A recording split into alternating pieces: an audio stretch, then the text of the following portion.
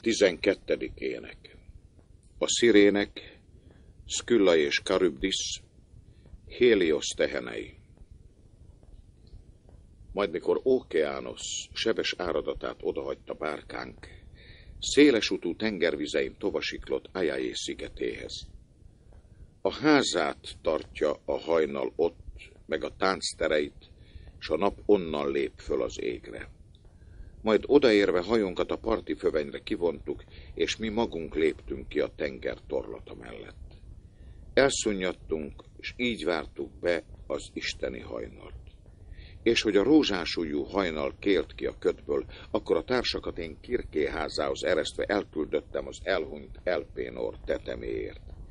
S fákat vágva a legmagasabb partrészen azonnal, sírva temettük el őt, a kövér könyv hult a szemünkből és miután a halott is elégett, s fegyvere véle, halmot emeltünk, oszlopot is tettünk a halomra, s jól faragott evezőt szúrtunk be a legtetejébe. Mindezt sorban elintéztük. Kirké maga látta, hogy hazaértünk Hádéstól, hát ékeit öltve jött kifelé tüstént, vele jöttek a szolgaleányok, hoztak húst, kenyeret pirosan ragyogó borítallal. Majd odállt közipénk, és ezt mondta az isteni asszony. Jaj, ti merészek, akik Hádészhoz szálltatok élve, kétszer haltok, amíg egyszer csak a többi halandók. Rajta te át most csak lakomázzatok, s igyatok bort itt az egész napon át. De ha megjön a hajnal, a fényes, szálltok a fürgehajón, az utat pedig én jelölöm meg, s mindent elmondok fájdalmas cselszövevények folytán, tengeren és földön, hogy a vész lenes újcsom. Így szólt, és ami hős lelkünk hajlott a szavára. Így az egész napon át ott ültünk napnyugovásig, és lakomáztuk a sok-sok húst, meg a mézizű színbort.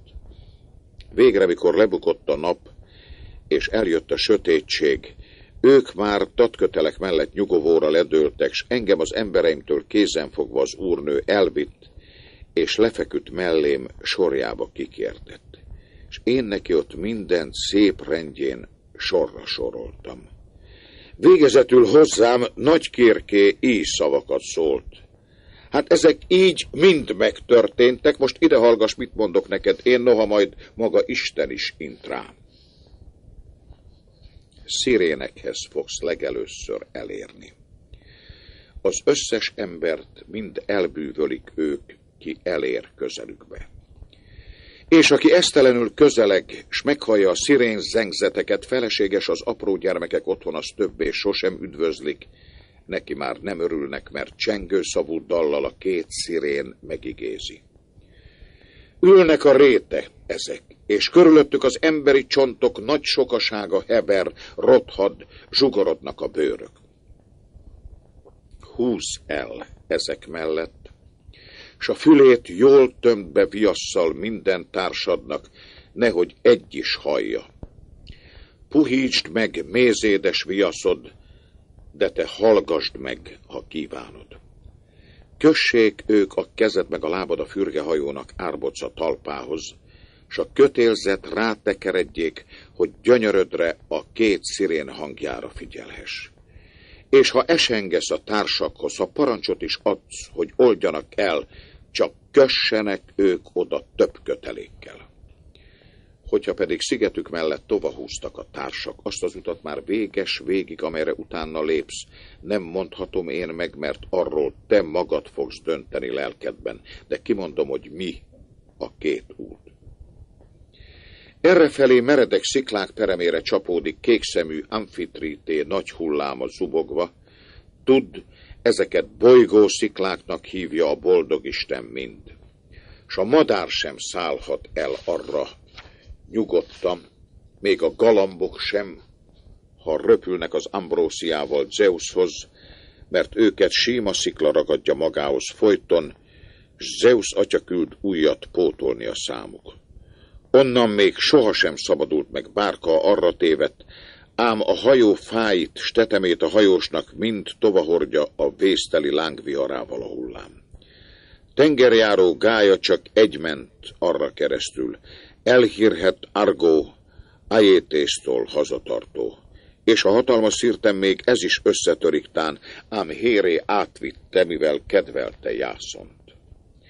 Másik irányban két nagy szírt van. A tágterű égbe ér föl az egyik csúcsa, körötte a kékszínű felhő terjeng egyre, sosem megy odébb, sose jár ama csúcson fényes tiszta idő, sem a nyár, sem az ősz közelettén.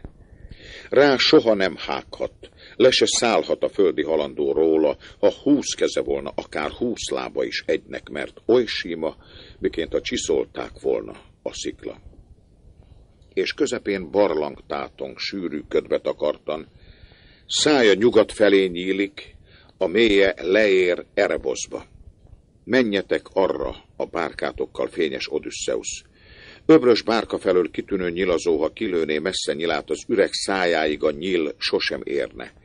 Benne a szörnyen ugatva üvöltő külla tanyázik. Éles a hangja, akár csak a most született kutyakölykök hangja, de ő maga roppant szörny. Nem örül neki, látná őt még Isten sem közelébe, ha érne az útján. Lába tizenkettő, levegőben leng valamennyi, hat hosszú nyaka van mindegyiken egy riadalmas fejnőt, és a fejekből három sor foga rémít, sűrű, tömött agyarnak, tele észínű szörnyű halállal.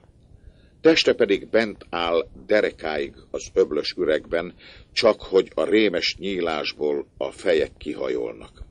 És ő ott, szikláját körülnyül tapogatva halázgat, delfint, tenger ebét, de nagyobb vízi szörnyet is olykor, melyből rengeteget táplál zajos amfitríté. És nem tud dicsekedni hajó soha, hogy tovasiklott sértetlen mellette. De hat feje húz ki hat embert mindig hirtelenül a sötétkék orrú hajóból. Látsz ott egy másik, nem olyan nagy szírtett, Odysseus, nem nagy a távolság köztük nyilad is beröpülné, rajta magas fügefát láthatsz, sűrű lombot, alatta szívja magába a szörnyű Charybdis, az észínű tengert. Háromszor kiereszti naponta, de újra beszívja rémesen, arra, mikor szürcsöl, te nehogy közeledjél, mert sose tudna a földrázó se kihúzni a bajból. Inkább Skülla felé igyekez a hajóddal, evezzel gyorsan a szirtja alatt, mert több hasznú, ha bárkán hattársad gyászol majd, mind együtt valamennyit. Így szólt ő, mire én így adtam néki a választ. Rajta, nagyistennő, áruld el igaz szavaiddal, hogy tudnék menekülni a szörnyű Karübdis elől is, s győzni a Skülla fölött, ha reát tör az embereimre? Így szóltam. És ezt mondta azonnal az isteni asszony. Jaj, te merész, neked itt is a harcra s a fáradalomra van gondod, sose térsz ki haláltalan Isten elől sem hisz nem enyésző ő, de sosem múló veszedelmet, szörnyű, dühös kínzó, aki ellen védekezés nincs, ellene törni se jó, menekülni előle a legjobb.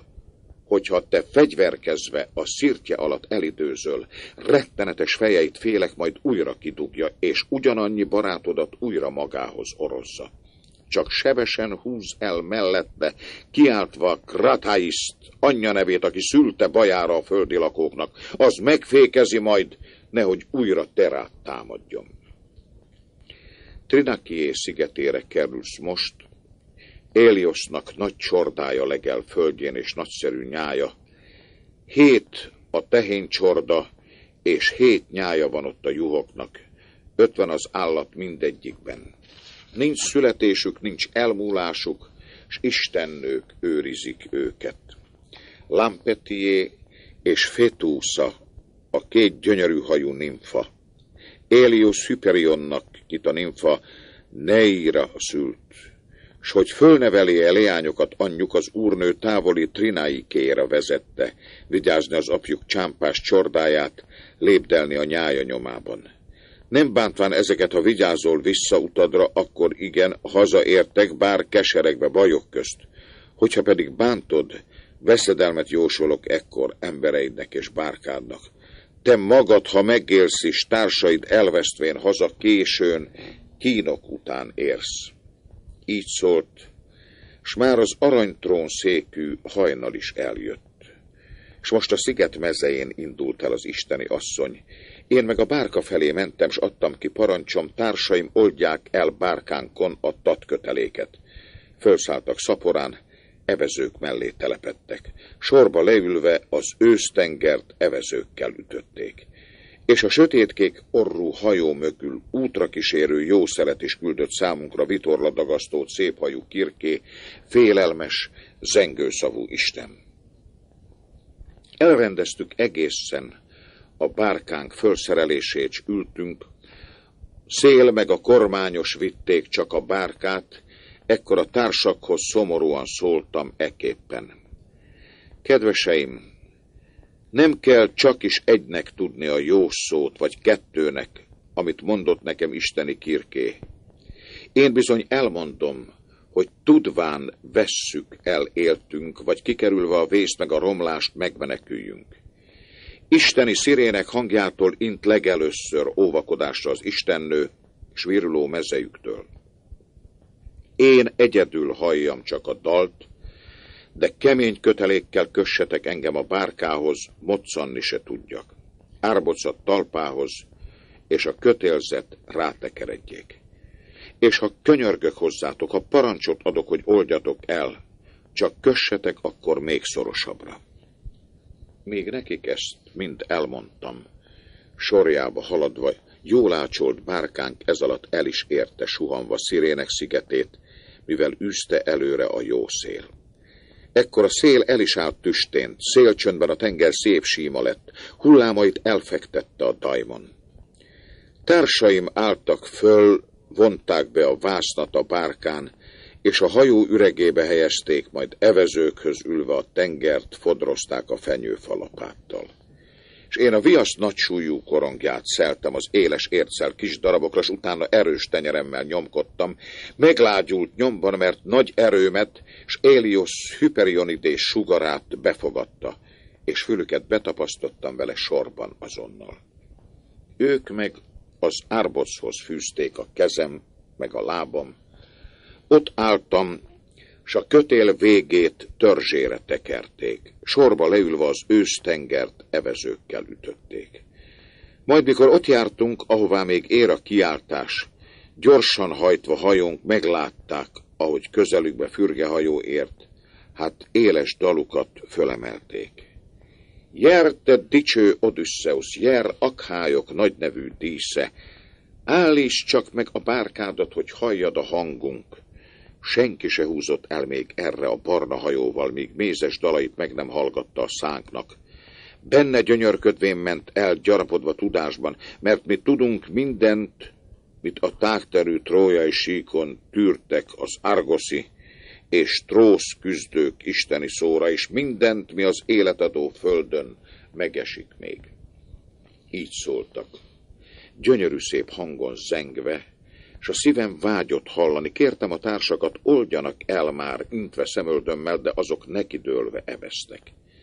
És föl is állt nyomban Perimédész Eurulokosszal, és még több kötelékkel fűzött még szorosabbra. És eleveztek a földjük mellett, majd miután már nem hallottuk a két szirén szavai dalolását, kedves társaim ott a viaszt szedték ki fülükből, mit beletömettem előbb, s kötelékeim is kibogozták és miután elhagytuk a földet, láttam azonnal füstöt s nagy hullámot, zúgás ért a fülembe. Megrémültek mind. Kiesett a lapát a kezükből, és zajt vert a hajó sodrában, és az mégis állott, mert a lapos végű evező nem vitte előre. Én a hajón átsétáltam, buzdítva eképpen, mellé állva, külön mindet, mézes szavaimmal. Kedveseim, köztünk bajban járatlan, amúgy sincs, és az a baj se nagyobb, mint az volt, melyben a küklop zárta rajunkat az öblös üregbe goromba erővel, abból is csak erőm, elmém, s tervem segített ki. Azt hiszem én bizony erre is emlékezni fogunk még. Rajta tehát, hogy én mondom, mind úgy cselekedjünk. Verjétek ti lapátaitokkal a mélyvízű tenger habtaraját, padatokról nem mozdulva, talán Zeus engedi még, hogy a szörnyű veszélyből szökve szaladjunk. S kormányos, neked annyit mondok, vesd a szívedbe jól, míg mélyüregű gájánk rúdját igazítod, ott, ama hullámtól meg a füsttől tartsd a hajónkat távol. A szikla felé igyekezz, valahogy ne szaladjon vissza, ha rá nem ügyelsz, ne taszíts bennünket a bajba. Így szóltam. Ők hallgattak tüstént a szavamra. Skylla nevét nem is említettem, hisz kikerülni nem lehetett, nehogy abban hagyják rémületükben az evezést, s lent bújjanak el bárkánk üregében. Kirké fájó intelmére bizony nem ügyeltem, ő ugyanis nem akarta, hogy ott felövezzem a fegyvert, mégis a híres fegyvereket fölvéves a hosszú két kelevést markolva hajóm orrára kiálltam, mert onnan vártam, hogy először tűnik elébem sziklalakó szküllé, ki a jó társakra veszélyt hoz. Meg nem láthattam, pedig elfáradt szemem is már, míg ama ködbevesztő szirtet mindenfele néztem. Sóhajtozva hajóztunk ekkor szűk szorosába. Innen a Skylla esett, de amonnan a szörnyű karübdés szívta magába a tenger sós habját iszonyúan. És valahányszor okáttak ki, mint nagy lángokon, üstben, fölkavarodva a víz fölzajdult, és a magasba szökve a tajték mindkét szírt tetejére csapódott. És valahányszor a sós tengervizet újra benyelte, látszott megkavarodva egész örvénye.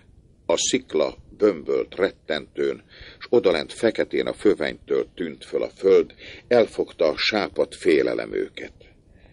Arra felé néztünk minnyájan, félve a vésztől, és ez alatt Sküllé kiragadta a görbe hajóból hat társam, ki a legderekabb erejű evezős volt.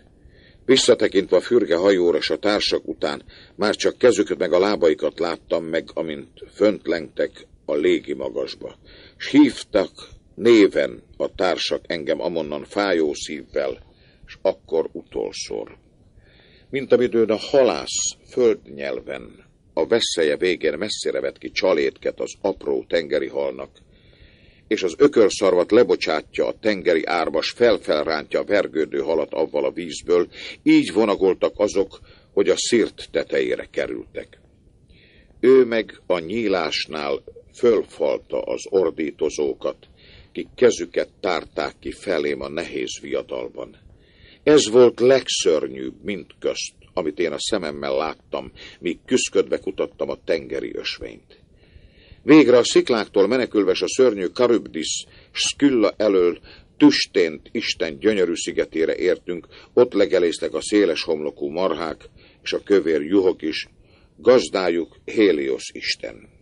Akkor még a vizen hallottam az észínű bárkán bőgését amacsordának, mikor épp a karámba tért, s a jó bégést is.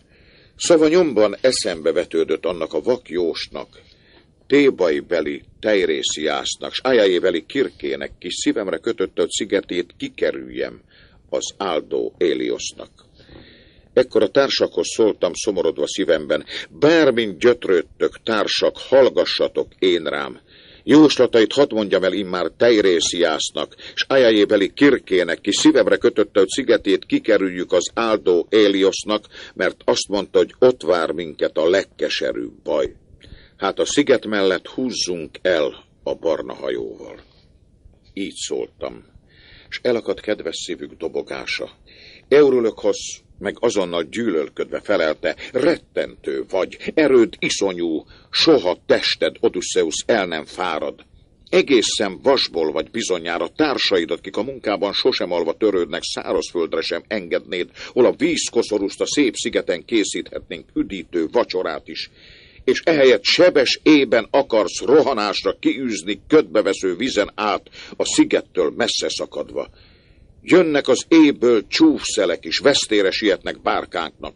Kikerülheti el meredek veszedelmét váratlan, ha a szélvihar erre fut, és a notosz, vagy fergeteges zefűrosz tühe tombol, amelyek a bárkát összetörik mindig, ha nem is kívánja az Isten.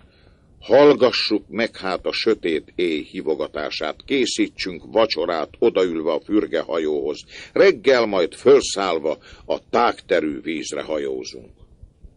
Így szólt Eurülikosz, és a szavát helyeselte a többi. Ekkor láttam már, hogy a Daimon rosszat akar csak, és Eurülikoszhoz ekép szóltam szárnyas szavaimmal. Én egyedül vagyok, Eurülikosz, könnyen leigáztok. Rajta azonban erős esküt tegyetek nekem itt mind, hogyha tehén csordára lelünk, vagy tán a juhoknak nagy nyájára, Ki sem fog hallgatag ostoba fővel ölni le marhát vagy juhot, ám de egyétek az étket nyugton, amit nyújtott a haláltalan isteni kirké. Szóltam, és ők esküdtek, amint kívántam azonnal. És hogy az esküt már megtették és befejezték, jól ácsolt bárkánk öblös kikötőbe vezettük édesvíz közelébe. Kiléptek azonnal a társak, és hozzáértőn vacsorát készíteni kezdtek.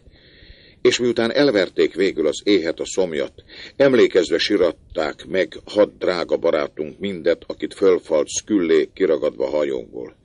Sírás közben szállta meg őket a mézizű álom.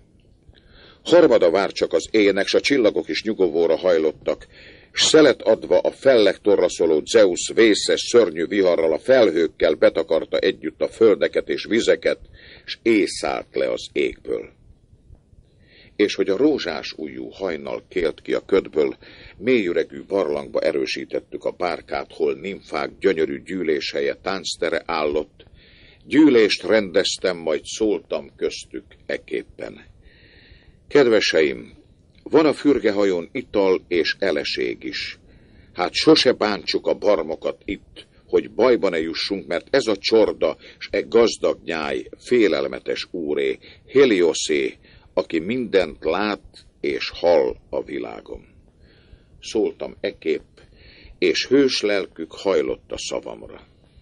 Teljes hónapon át a Notos szele fújt szakadatlan, és sose támadt más szél, mint a Notos meg az Euros. Míg a vörösbor tartott, s volt eleség elegendő, tartózkodtak a marháktól, hiszen élni akartak. Csak hogy amint kifogyott a hajóról útravalunk, s kényszerűségből eljártak vadat űzni bolyongva, halra, madárra vadáztak, amint a kezükbe esett épp skampós horgokkal, s hasukat kínoszta az éjség. Ekkor félrevonultam a szép szigeten könyörögni isteneinkhez, hát ha utat mutat egy, hazatérni. Félrelopóztam a társak elől egy távoli térre, megmostam kezemet, s hol a szél se fújt a ligetben, minden olimposzi istenhez könyörögtem imával, ők pedig édes szendert hintettek szemeimre.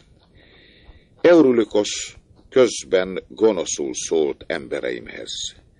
Bármint gyötrődtök, társak, hallgassatok én rám. Mindenfajta halál iszonyú a szegény embernek, mégis a legcsúfabb éhezve betölteni sorsunk.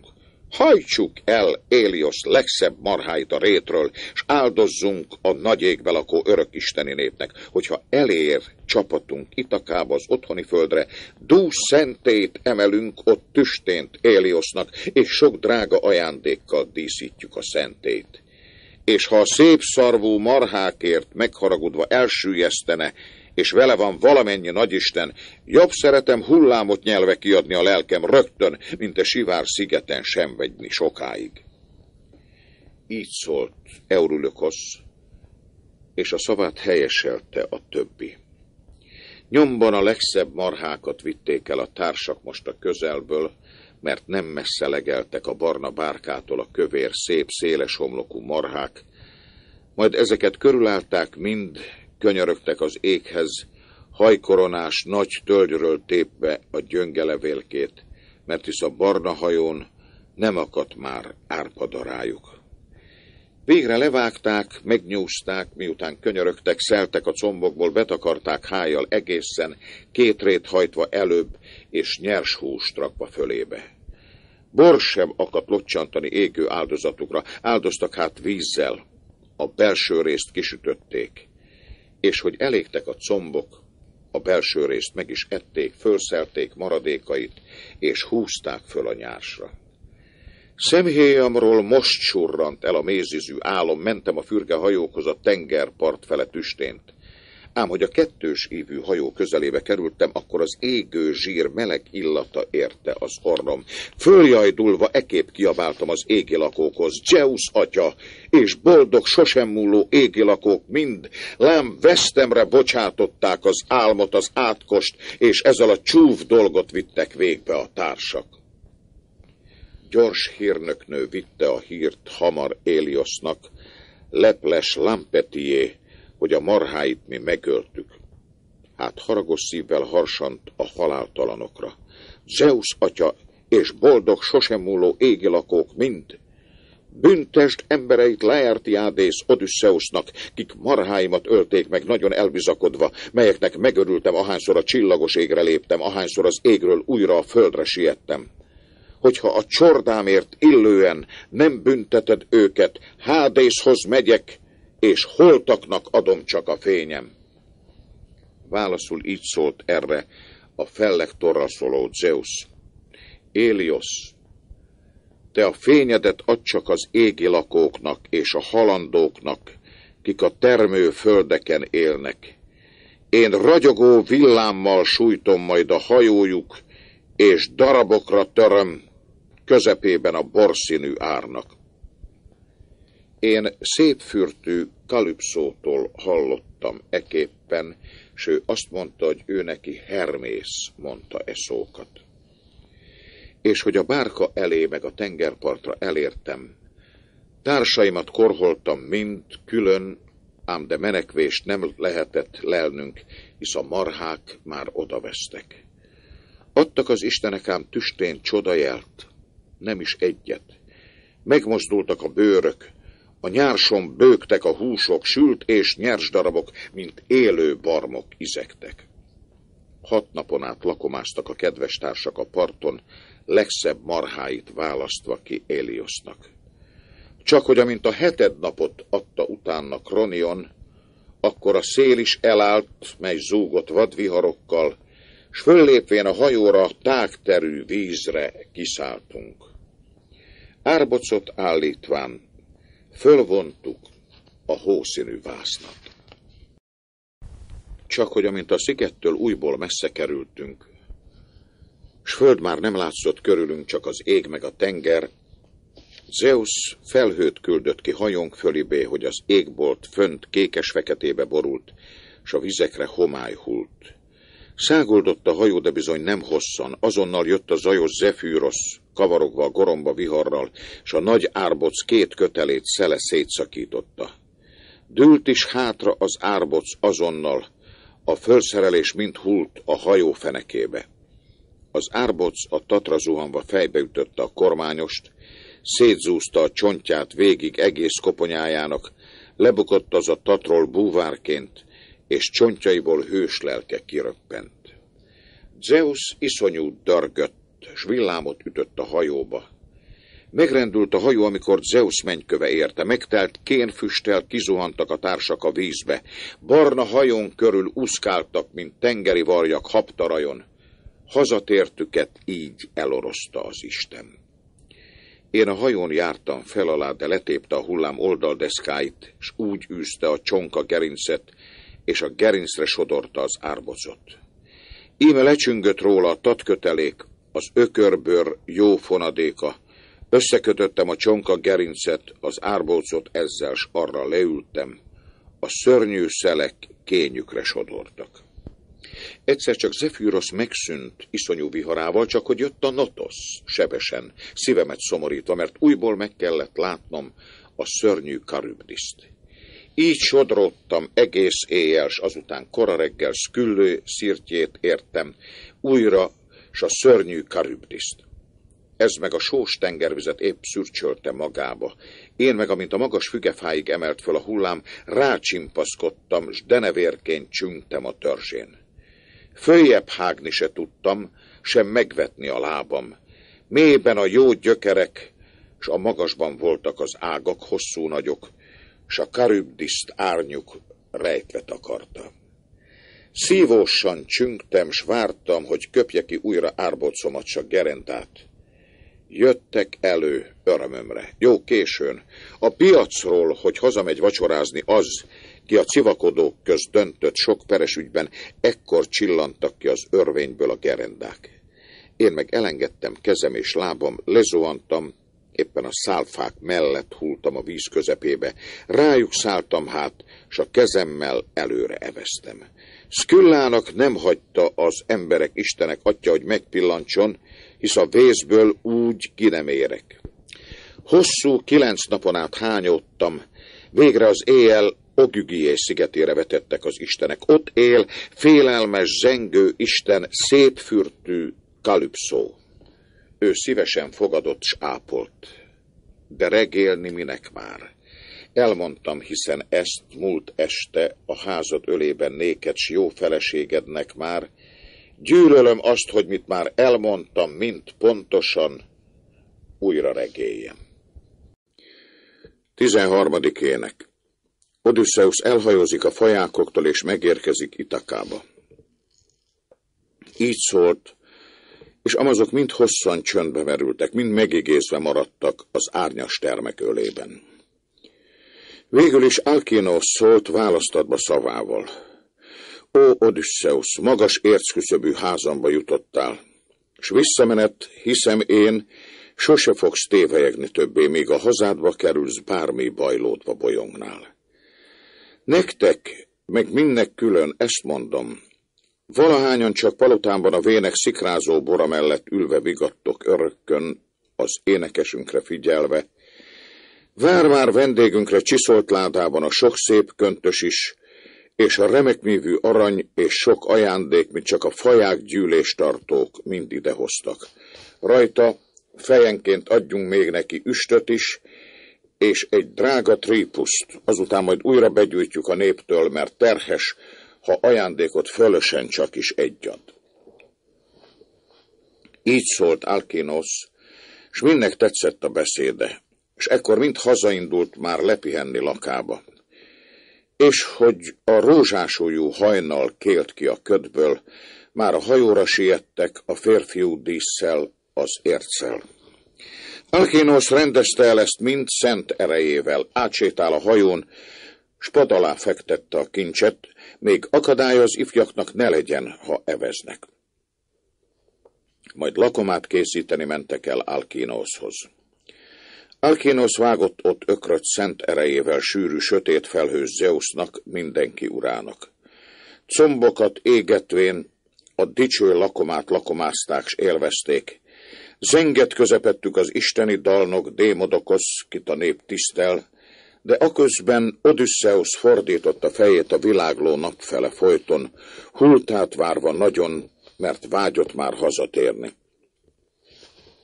Mint ahogy áhítozik vacsorázni ki egyre egész nap borszínű két ökrével a földet szántja ekével, szívbéli szép örömére bukik le a tündökölő nap, mert vacsorázni mehet, s meginok mentében a térde, úgy megörült Odysseus, hogy a fénylő nap lehanyatlott.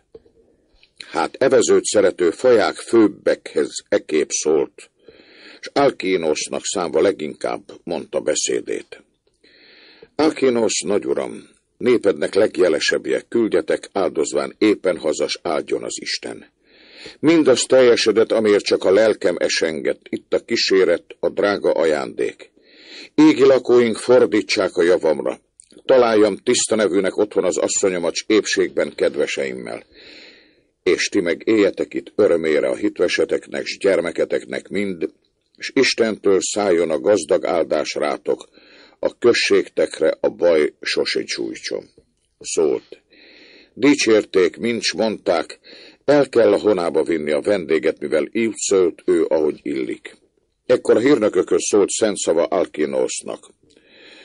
Pontonos, te keverd a vödörben, s osszad a szimbort termünkben, hogy most miután Zeushoz könyörögtünk vendégünket, már honi földje felé eleresszük.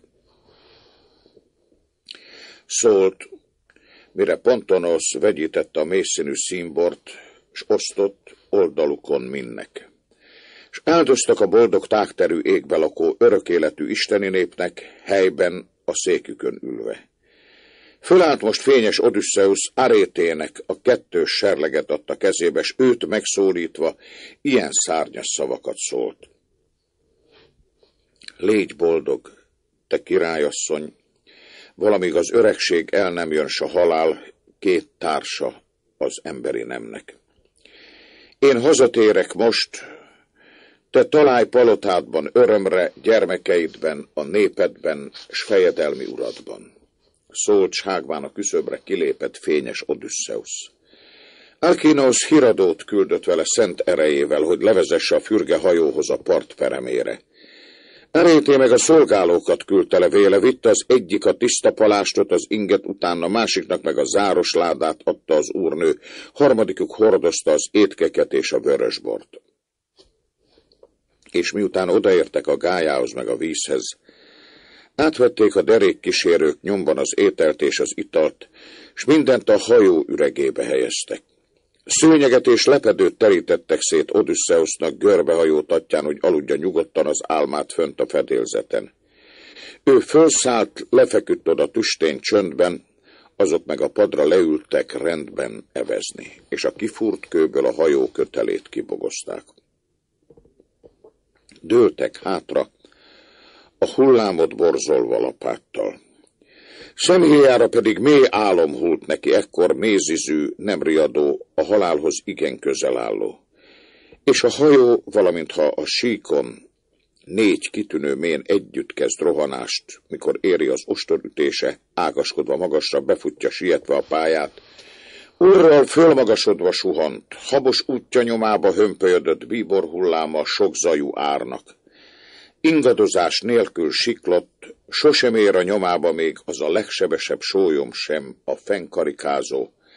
Így siklott a hajó, hasogatva habokban az útját, vitte az isteni bölcsességű férfit előre, őt, aki oly sok erős gyötrelmet tűrt a szívében, hősök háborúit próbálva, vizek veszedelmét, s most nyugalomban aludt, s mindazt, ami érte, felette. Hát, hogy a legragyogóbb csillag föltűnt, mely az éből jő, ködbe születő hajnal hírével az égre, már közelébe került a szigetnek a tengeri bárka. Forkusnak van amott kikötője a tengeri vénnek Itaka községében, két meredek falu szirtje nyúlik a vízbe, előres az öblöt is ez veszi körbe. Védi hatalmas habjaitól a goromba szeleknek kívülről, s odabent a hajóknak nincs kötelékre szükségük, ha elértek már kikötési helyükhöz. Hosszúkás levelű vadolajfa van ott az öbölnek végében, és egy bájos barlang árnyas ölével neászoknak hívott nimfák szent pihenője. Nagy vegyítő vödrök vannak bent, kétfülű kancsók terméskőből, míg nekik hord mézet a sok méh. És hosszú szövőszékek kőből, ezeken meg a nimfák tengeri bíbor szép szövetet szőnek, csoda látni, s vannak örök források benne, bejárata kettő, egyiken északról szállhat le a földi halandó, másik délfele istenek és ezen át sose járhat ember, mert ez az út a haláltalan égi lakóké. Hát ide értek. Rég tudták, hol a hely, és a hajójuk féltestével a szárazföldre szaladt ki egészen, úgy sietett evezősei kézzel eként röpítették. Ők meg a jópadó bárkából kisiettek a partra, s görbe hajójukból legelőbb kiemelve Odysseuszt úgy, ahogy ott szunnyadt, szép szőnyegeken lepedőben még álomba igázottan tették a fövenyre, és kiemelték kincseit is, miket adtak a büszke fajákok, nagylelkű Aténé rendeletére. Mindezeket fölhalmozták az olajfa tövébe, távol az úttól, hogy valamely utas ember előbb, mint ébred, Odysseus kárt ne tegyen még abban a kincsben ők pedig indultak haza. Csak hogy a földrázó sem volt feledője szavának, amelyel rég fenyegette isteni hős Odysseuszt. Zeus szándékát tudakolta. Zeus atya, nem leszek én a haláltalan égi lakók közt tisztelt, mert a halandó nép sem tisztel, a faják, törzsek sem, pedig ők mégiscsak tőlem erednek. Hát nem megmondtam, hogy Odysseus sok sanyarú bajt tűrve kerüljön csak haza. Bár sose vágtam az útját teljesen el, mert hogy hazaér, bólintva ígérted. Ők meg a fürgehajón átvitték alva, az áron és itaké peremére kitették, kincseket adtak néki, sok ércet, aranyjal, szép szőt, drága ruhát is dúsan, amennyit Trója alól sem hozna Odysseus sértetlen, ha a zsákmányból vinné haza részét. Erre a fellektorlaszoló Zeus válaszul így szólt. Jaj, széltében erős földrázó, mi szavakat szólsz. Nem vetnek meg az égi lakók, de hiszen veszedelmes volna bizony megvetni ki legderekabb, legidősebb. S földi halandók közt, ha akadnak ki elbizakodva, nem tisztel, tudod őt ezután is sújtani folyton. Tedd, amit óhajtasz, cselekedd, ami vágya szívednek. Erre a földrázója Poseidon adta a választ. Megtenném tüstént, te sötét felhős, ahogyan szólsz csak hogy az indulatod mindig tisztelve kímélem. Azt akarom, hogy a fajákok szépművű hajóját, míg a kíséretről hazasiklik a kötszínű áron szétzúzhassam, hogy haza már sose hordjanak eztán embert, s városukat hegylánccal körbekerítsem. Erre a fellektorra szóló Zeus válaszul így szólt.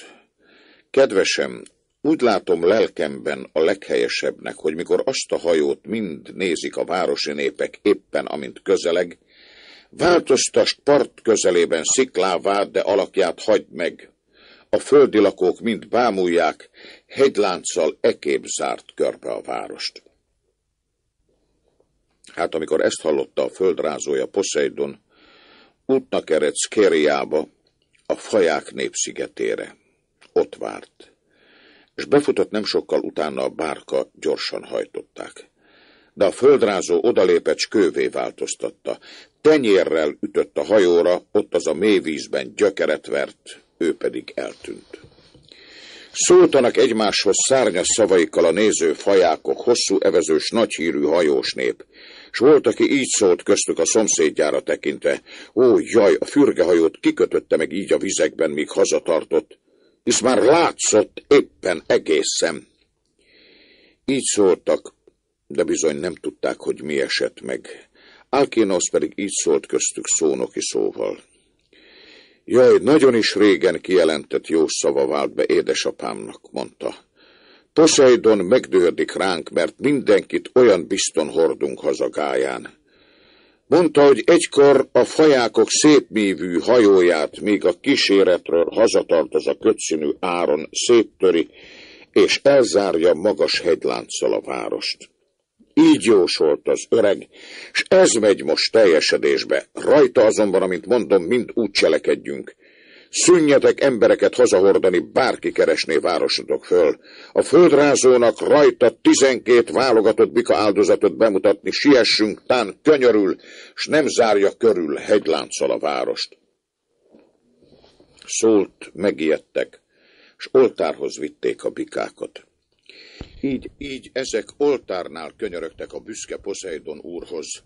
A faják nép fejedelmei és vezetői ott álltak, és ébredt ugyanakkor a bajnok Odysseus álmából Hona földjén már, de a földre nem ismert, hisz rég távol volt, s ködöt öntött körbe az Isten, Pallas Athenai Zeus leánya, hogy őt kiselássa, és neki elmondhasson mindent sorra egyenként. Ráismerni ne tudjon az asszonya, népe, barátja, csak ha a kérők dőféért mind megfizetett már. Éppen ezért idegennek tűntek most a királynak mind a tekergő ösvények, s a remek kikötők is, és a magas sziklák, s a virágzó fák is a parton. Talpra szökött tüstént, meglátta az otthoni földet, följajdult azután, s kifeszített két tenyerével, két combjára csapott, keseregve ilyen szavakat szólt. Jaj, nekem újra milyen népek földjére jutottam dőföseké, vadaké, törvényel mit se törődők, vagy vendégszeretők, s elméjük féli az Istent. Hát hova hordjam a kincseimet, hova merre bolyongjak én magam is? Bár vártam volna a fajákoknál, s mentem volna talán egy más nagy büszke királyhoz, a szívesen látott, s hazaküldött volna utána. Most pedig azt se tudom, hova rakja meg kincset. A parton nem hagyom én, mert másoknak zsákmánya lehetnék. Jaj, hát mégsem voltak olyan méltányosak és oly bölcsek a faják nép fejedelmei és vezetői, mert idegen tájékra vezettek. Bárha ígérték messzire látszó szép itakát, slám csak hitegettek. Őket a vendégvédő Zeus büntesse meg. Az, ki látja az embereket, s megbünteti mind, aki vétkes. Rajta azonban a kincseket is hadd számolom össze, hogy valamit nem vittek-e vissza a mélyölű bárkám. Szólt, s a nagyon szép háromlábasokat, s a sok üstöt és aranyat számlálta, s a szép szőt drága ruhákat. Egy csöpp híja volt. De siratta bizony honi földjét, földön csúszva a sokzsivajú tengervize mellett, szüntelenül zokogott. Jött most közelébe Aténé ifjú alakjában, ki a nyájakat őrzis, egészen gyöngét szép, amilyen szép mindig a büszke királyfi. Kétrétű, gyönyörű köpenyek volt válla fölött, és tündöklő lábán sarudísz lett dárda kezében.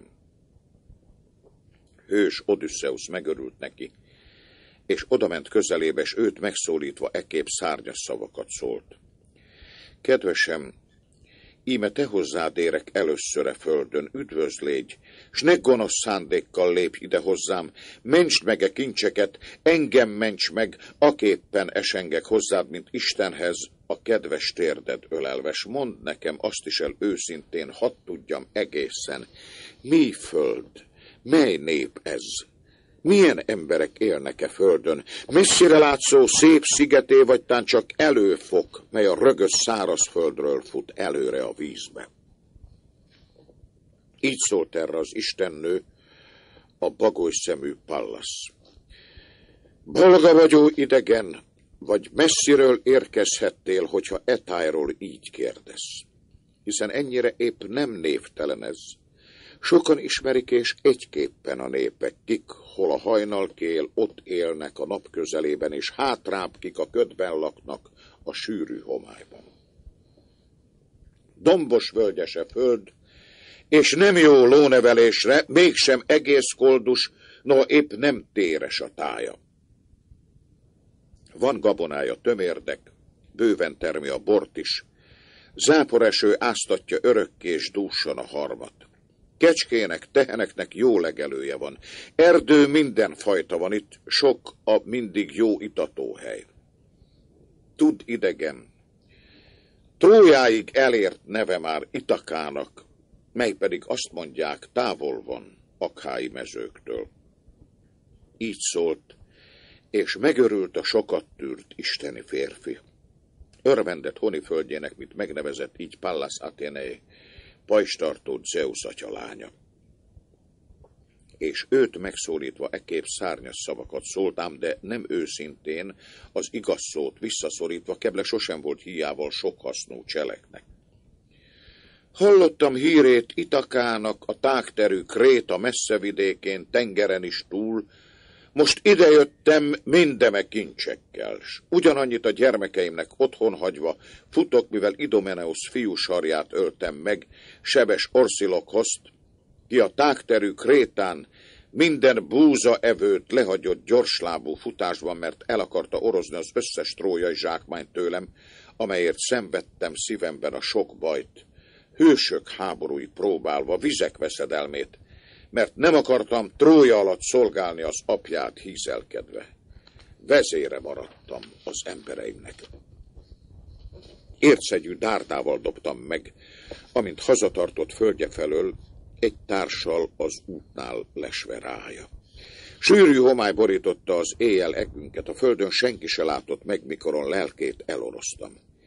Érchegyű dárdával, miután őt végre megöltem, Fényes folynakszok bárkája felé igyekeztem, és dús zsákmányt adva nekik hozzájuk esengtem, hogy vigyenek tova bárkán, és tegyenek ki Pűloszban, vagy pedig isteni Élisz alatt, hol Epejoszi nép él. Őket azonban a szél onnan nagy erővel elűzte, bár nem akarták, nem kívántak félrevezetni, és vergődve kerültünk végre e földre ma éjjel. Itt az öbölben eveztünk nagy nehezen. Vacsorára egy sem gondolt, bár nagyon is kínoszta az éjség. Mégis, amint léptünk ki hajónkból, mind lefeküdtünk. Én rám mézizű álom szállt, mivel úgy kimerültem, ők meg a kincseimet hordták ki a görbe hajóból, és ide tették, hol már, hol már én a fövenybe feküdtem. Majd meg a népes Szidóniába hajóztak utána, fölszálltak, s itt hagytak. A szívem bánat emészti szólt, mire elmosolyodva bagoly szemű Pallas Athéné megsimogatta kezével. Olyan volt már, valamint egy szép nagytermetű nő, aki érti a nagyszerű munkát, és őt megszólítva ekképp szárnyas szavakat szólt. Furfangos legyen az, s agyafurt, ki fölötted a cselben győzni akar, legyen égi lakóbár az, ki eléd ér. Jaj, te gonosz, te cseles, leleményes, tarka eszű, még itt a hazát földjén sem akarsz fölhagyni a csalfa szóval, tettel, amit mind kedvelsz csöppkorodóta. Mi se beszéljünk erről már, hiszen értjük a cselt mi mindketten. Te halandók legkitűnőbbje tanácsban, szónoklásban vagy, s én híres az égi lakók közt Fortéról, ravasz észről. S nem láttad te se meg, hogy Pallas Athénei vagyok én, Zeus lány, aki minden munkádban te veled maradok, s őrizlek örökké, és fajákok közt, aki tettelek oly szeretetté. Most is azért jöttem, hogy vélet szőjem a tervet, és iderejtsem a kincseidet, miket adtak a faják főnemesek, mikor indultál, ahogyan kieszeltem. S hogy neked elmondjam, mi sok bajt kell gyönyörű szép házadölén eltűrnöd még, de te tűr csak erővel, Férfinak el ne beszéld, nőnek sem, hogy hazajöttél hosszú bolyongásból, de viseld el csöndben a csúfos sértést mind, stűrd el dőfét az erőszakosaknak. Válaszol erre eképpen szólt leleményes Odysseus. Istennő, nehezen tud rád ismerni halandó bármilyen értelmes, hiszen oly sok alakba jelensz meg. Jól tudom én, hogy kedves voltál egykor irántam, míg mi akhályok sarjai Trója alatt hadakoztunk. Ám hogy földultuk Priamos meredek falu várát, s bárkákon szétszórta akhály seregünket az Isten, már nem láttalak egyszer sem, Zeus lánya, hajómra lépni se láttalak én, hogy a kint tőlem tovakergesd. Bútól marcangolt szívemet hordozva bolyongtam folyton, míg nem az égi lakók kiemeltek a vészből. Végre a faják nép dús községébe vezettél már te magad, miután szavaiddal bátorítottál. És kérlek az édesapádra, mivel most sem hiszem én, hogy végre a messzire látszó szép itakába kerültem. Más földön bolygok, s félek, hogy csak csúfolódol, és ezeket csak azért mondod, hogy a lelkem elámítsd. Mondd meg hát, igazán ideértem-e, drága hazámba. Így szólt erre az istennő a bagoly szemű Pallas. Ennyi, a gondolatod mindig csak ilyen kebeletben. Éppen ezért sose tudlak már elhagyni a bajban, mert így győzöd a szót, így jó eszű, óvakodó vagy. Más ember, ki bolyongásból hazaér, nagy örömmel vágyik látni a háza ölén fiait, feleségét. Ám te nem óhajtasz kérdezni se, tudni se semmit, hitvesedett míg nem tettet próbára a házban egyre csak otthon ülőt, akinek keserű síralomban hervad az éjjele nappal a hullnak a könnyei folyton. Abban nem kételkedtem soha, mert a szívemben tudtam, hogy csak a társak nélkül jutsz haza egykor. Mégis a bátyámmal nem akartam harcba kerülni, büszke Poseidonnal, ki szívében megdődött rád szörnyen, amért szeretett fiú sarját megvakítottad. Rajta azonban megmutatom, hogy higgy itakádat. Ez Forküsz kikötője, ahol vagy, a tengeri véné. Itt végében a hosszúkás levelű vadolajfa. Itt közelében a bájos barlang árnyas ölével, néászoknak hívott nimfák szent pihenője. Lám ez a boltozatos barlang, hol a nimfaseregnek annyi tökéletes áldozatot szoktál bemutatni, ott meg a Nériton erdővel borított hegye látszik. Szólt, szétoszlatván a ködöt, föltűnt az egész föld, és örvendett ezután a sokat tűrt isteni férfi, megcsókolta örömmel az életadó honiföldet, nyomban a nimfákat kérlelte kezét fölemelve, néjászok, nimfák, Zeus lányai, már sose hittem, hogy megláthatlak, de ma buzgó, drága imáim hangja köszönt. S valamint hajdan meg lesz az ajándék, hogyha megengedi nagykegyesen Zeus lánya, a zsákmány osztogatója, hogy éjek, s fölnövekedjen a sarjam s mondta az istennő ismét, a bagoly szemű Pallas. Bátorság, ilyenekre szívednek gondja ne légyen. Kincseidet tegyük el csak azonnal az isteni barlang mély zugolyába, reád épségben várjanak itt mind, és mi magunk fontoljuk meg, mit kell cselekednünk. Szólt, és indult be az árnyas üreg mélyére az Isten, hogy kikutassa a barlang rejtekeit. Míg Odysseus hozta idébb aranyát, meg az érckincsét, a szilárdat, s jól szőtt köntösöket, faják vezetők adományát. Elrejtette egészen. A nyílást fette be kővel Pallas Athénei pajstartó Zeus atyalánya. S most az olajfalat ültek le, a szentfa tövében, és tarakodtak a dőfös kérők végveszedelmén. Köztük a szót így kezdte bagoly szemű Pallas Athéné, isteni sari.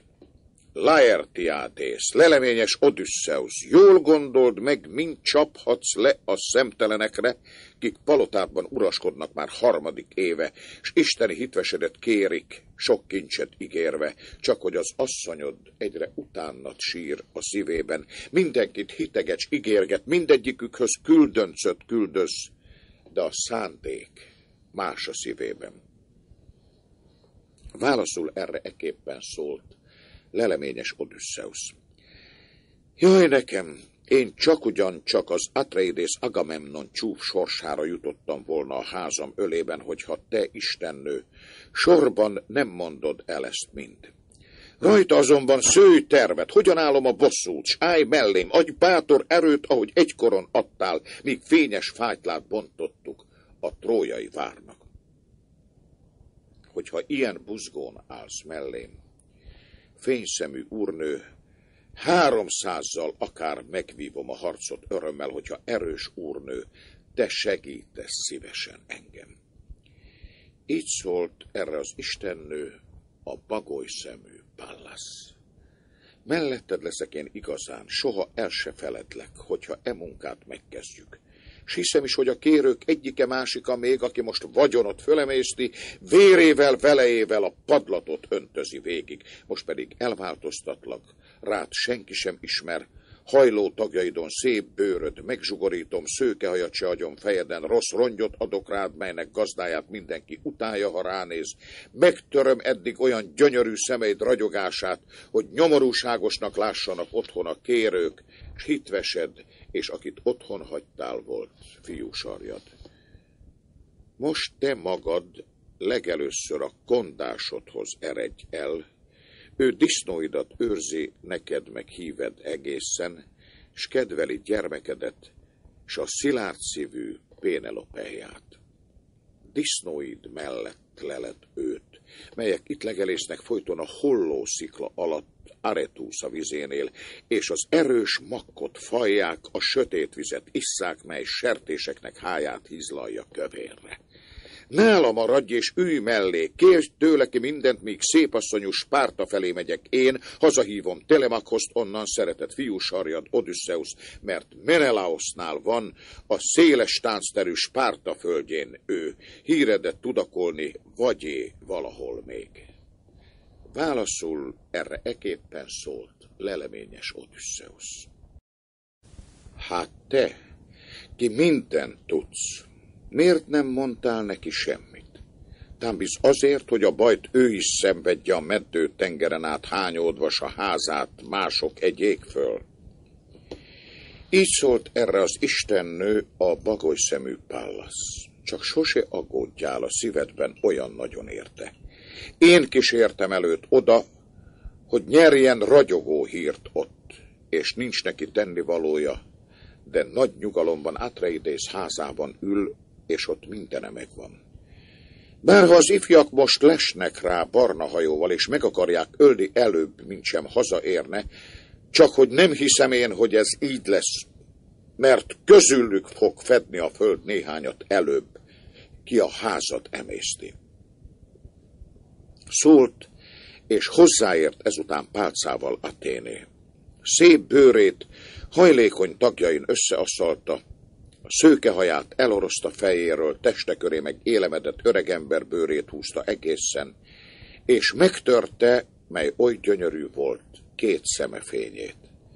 Más rossz rongyot adott rá ekkor, és összeszakadt csúf inget, foszladozó rút füstbe futotta ruhákat, s arra szökő szarvas kopasz irháját borította, és a kezébe adott botot is, vállára tarisznyát, foltos foszladozót, madzag volt rajta a kantár.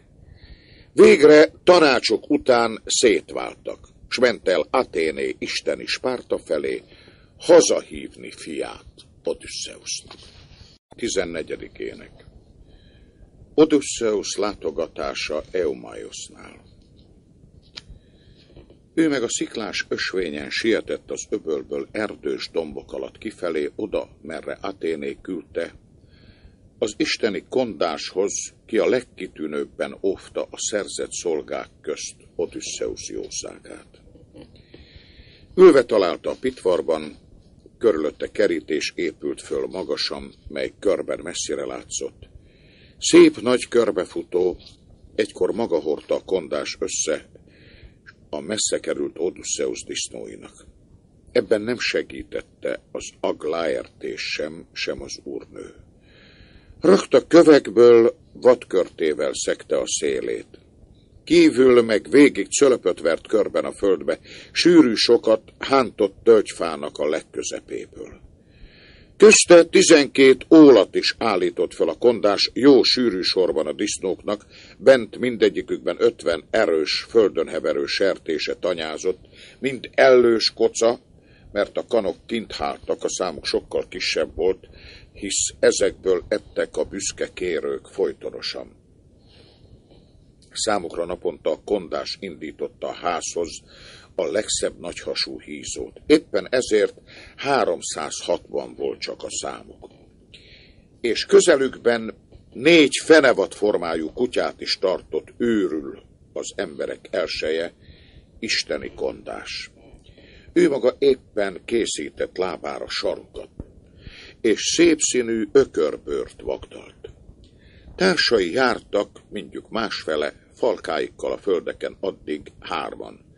S volt még egy, kit a városi házba menesztett döjfös kérőkhöz, disznóval, kényszerűségből, hogy majd áldozván jól lakjék hússal a lelkük. Meglátták Odysseuszt, az erős hangú ebek ekkor nyomban bősz ugatással törtek rá, de Odysseus földre lapult ravaszul, botját kivetette kezéből ott a saját telepén szenved csúfkínokat akkor, hogyha a kondás gyors lábbal nem ront oda rögtön, pitvaron át sietett, kiesett a kezéből a bőr is, és a kutyákra rivalt, kavicsokkal meghaigálta, szétkergette, utána meg így szólt nyomban urához. Ennyi öreg, majdnem széttéptek most a kutyáim, s rám te gyalázatot is zúdítottál volna, pedig hát Kaptam amúgy is az égi lakóktól bánatot és bajt. Itt ülök isteni jó uramért örökös siralomban, búban, és így nevelem másoknak ebédül a hízott disznóit, míg ő valahol vágyón elederre jár más községben, más népek városa földjén, hogyha ugyan valahol még él, és látja a napfényt.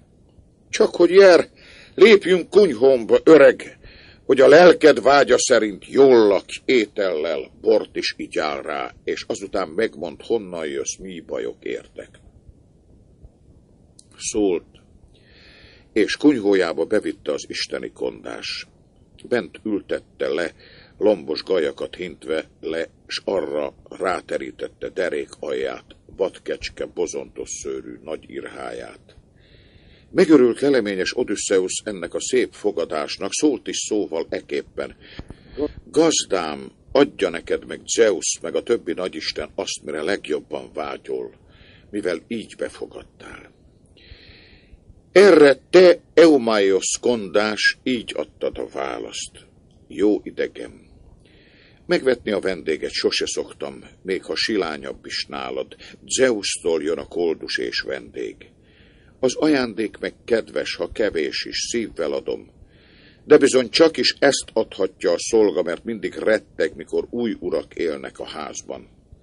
Mert hiszen isteneink nem eresztik már haza többé azt, aki engem erősen, birtokot adva szeretne, telket is adna nekem házat, takaros feleséget, mint amilyent ad a hűszolgának a jószívű gazda, hogyha munkáját Isten meg is áldja, miképpen ime megáldja az én munkámat, amelyel igyekszem. Kaptam volna jutalmat tőle, ha itthon öregszik, slám oda lett. Helénének pusztult volna ki törzse csúnyán, hisz térdét oldotta meg annyi deréknek, mert uram is tovaszált Agamemnon tiszteletére jócsikajú trójába a trószokkal verekedni. Így szólt, és összéphúzta övével gyorsan az ingét, ment el az ólhoz, amelybe rekesztve hevert a malac nép. Onnan két malacot kihozott, és nyomban levágott, megperzselte, föl is darabolta, s húzta a nyársra. Megsütvén odatette a húst Odüsszeusznak elébe, még nyárson, melegen, s a fehér liszttel telehintve. Öblös kancsóban vegyített neki mézizű bort is, ő maga szembe leült vele, és kínálta eszókkal. Láss hozzá, vendég, mi a szolgától telik, itt van. Csak malac ez, hisz a hízókat fölemésztik a kérők, isteni bosszút nem félnek, nincs szánakozásuk. Égbeli boldogokat sosem örvendeztet a rossz tett, ők az igazságot becsülik, meg a jó szívű tettet. Mert is a rossz akaró gonoszok, kik a más mezeire törve a zsákmányt Zeusztól kapják, és a hajójuk megtöltvén térnek haza, még azok is nagyon érzik, hogy megszállja a félelem őket az égi haragtól. Csak hogy ezek tudnak valamit.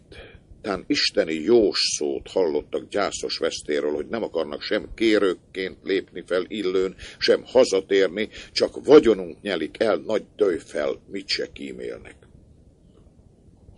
Mert hisz, ahány ét és napot ad Zeus, ők bizony egyre állatot áldoznak, de nem egyet a házba, se kettőt, s pusztítják a borunk, nagy döjfösen elpazarolják. Volt az uramnak sok jószága, bizony nem akadt hős, így gazdag, sem a szárazföldön, a barna mezőkön, s itt Itakában sem. És együtt húsz férfiúnak sincs, így sok mindene. Hadd számlálom elő neked ezt mind. Van csordája tizenkettő a mezőn. Ugyanennyit disznófalkát, kecske junyájat is épp ugyanennyit pásztorok és fizetett szolgák őriznek a földjén s tudd meg a kecskéknek tizenegy nagy nyája legelget itt a sziget szélén, és értő emberek őrzik. Innen mindegyikük kérők számára naponta legkitűrőbb hízott kecskéjét hajtja a házhoz, és én itt őrzöm a distókat, gondozva a falkát, itt szevelem ki a legszebbet, és küldöm be azoknak. Szólt. Odysseus pedig ette a húst, és itta a jóbort szótlanul, egyre mohón, s vesztét tervelte azoknak. Majd, hogy evett, s lelkét eleséggel fölvidította azt a kupát, melyből maga itta a bort, teletöltve adta a kondás át. Ő fogta, s örült a szívében, majd meg a kondáshoz szólt szárnyas szókkal eképpen. Mondd meg hát, ki a gazda, aki téged dús vagyonából vásárolt, aki így tehetős, aki ennyire gazdag? Mondtad imént, Agamemnonért pusztult el a gazdád, mondd a nevét. Hát, hogyha fölismerem őt azután is, mert Zeus tudja talán, meg a többi haláltalan Isten, tán hírét is adom, hisz sok földet bebolyongtam. Erre a kondás emberek elseje mondta a választ. Jó öregem, sose győzheti már meg az erre vetődő vándor drága fiát hírével sem feleségét mert is a kóborlók kegyelemfalatokra szorulnak, hát hazudoznak, s nem kívánnak szólni igaz szót. Mert aki csak hozzánk Itakába kerül csavarogva, úrnőmhöz megy el, ámító szavakat locsog egyre. Ő szívesen befogadja kikérni, de közben a könnyét pergeti csak szemehéja alól, mint illik a nőhöz, hitveshez, miután meghalt idegenben a férje. Hát, öregem, szívesen kitalálnál tán, te is ezt-azt, hogyha köpenyt adnának a szóért, inget is, öltönyt. Néki azonban már ebek és gyors röptű madárraj tépi a hús csontjáról. Rég elhagyta a lélek, vagy halak ették meg tenger mélyében, a csontja fekszik a partperemén, a fövenytől elborítottam. Ő bizony ott pusztult, s a barátai bajba maradtak mind, De leginkább én búsulok, hisz nem lelek úgysem ennyire jó akaró gazdára, akárhová térjek. Még ha apám, meg az édesanyám házába is érnék, hogy születésem esett, s ők táplálva neveltek, nem bizony? Ennyire őket sem siratom, noha vágyom még egyszer meglátni szememmel az otthoni földöm. Csak hogy Odüsszeuszért, aki elment, elfog a nagy vágy. Számra nevét csak restelkedve veszem, noha nincs itt jó idegen, hiszen úgy szeretett, oly gondos uram volt, és kedves gazdámnak nevezem, noha messze van innen. Erre eképpen szólt a sokat tűrt isteni férfi. Kedvesem, én tagadod, hogy visszajöhet. Soha sem jön többé, meg mondtad, mert lelked ilyen hitevesztett. Hát én nem csak amúgy mondom, hanem esküszöm is rá, hogy hazatér Odüsszeusz, és a jutalmat kapjam e hírért rögtön, amint ideérve saját házába betoppan. Adjatok akkor drága köpenyt nekem, inget is öltönyt, csak hogy előbb, bármennyire kell nekem, el se fogadnám. Gyűlöletes nékem, Hádész kapujával egyenlőn, kit noha inség is rábír a hazuglocsogásra.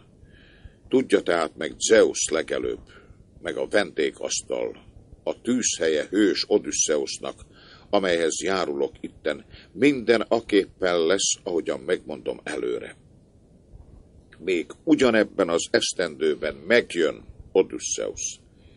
Majd mikor elfogy a hold, és kezd növekedni az új hold, akkoron ér haza, és bosszút áll mindazokon, kik sértegetik feleségét és fényes fiúsarját.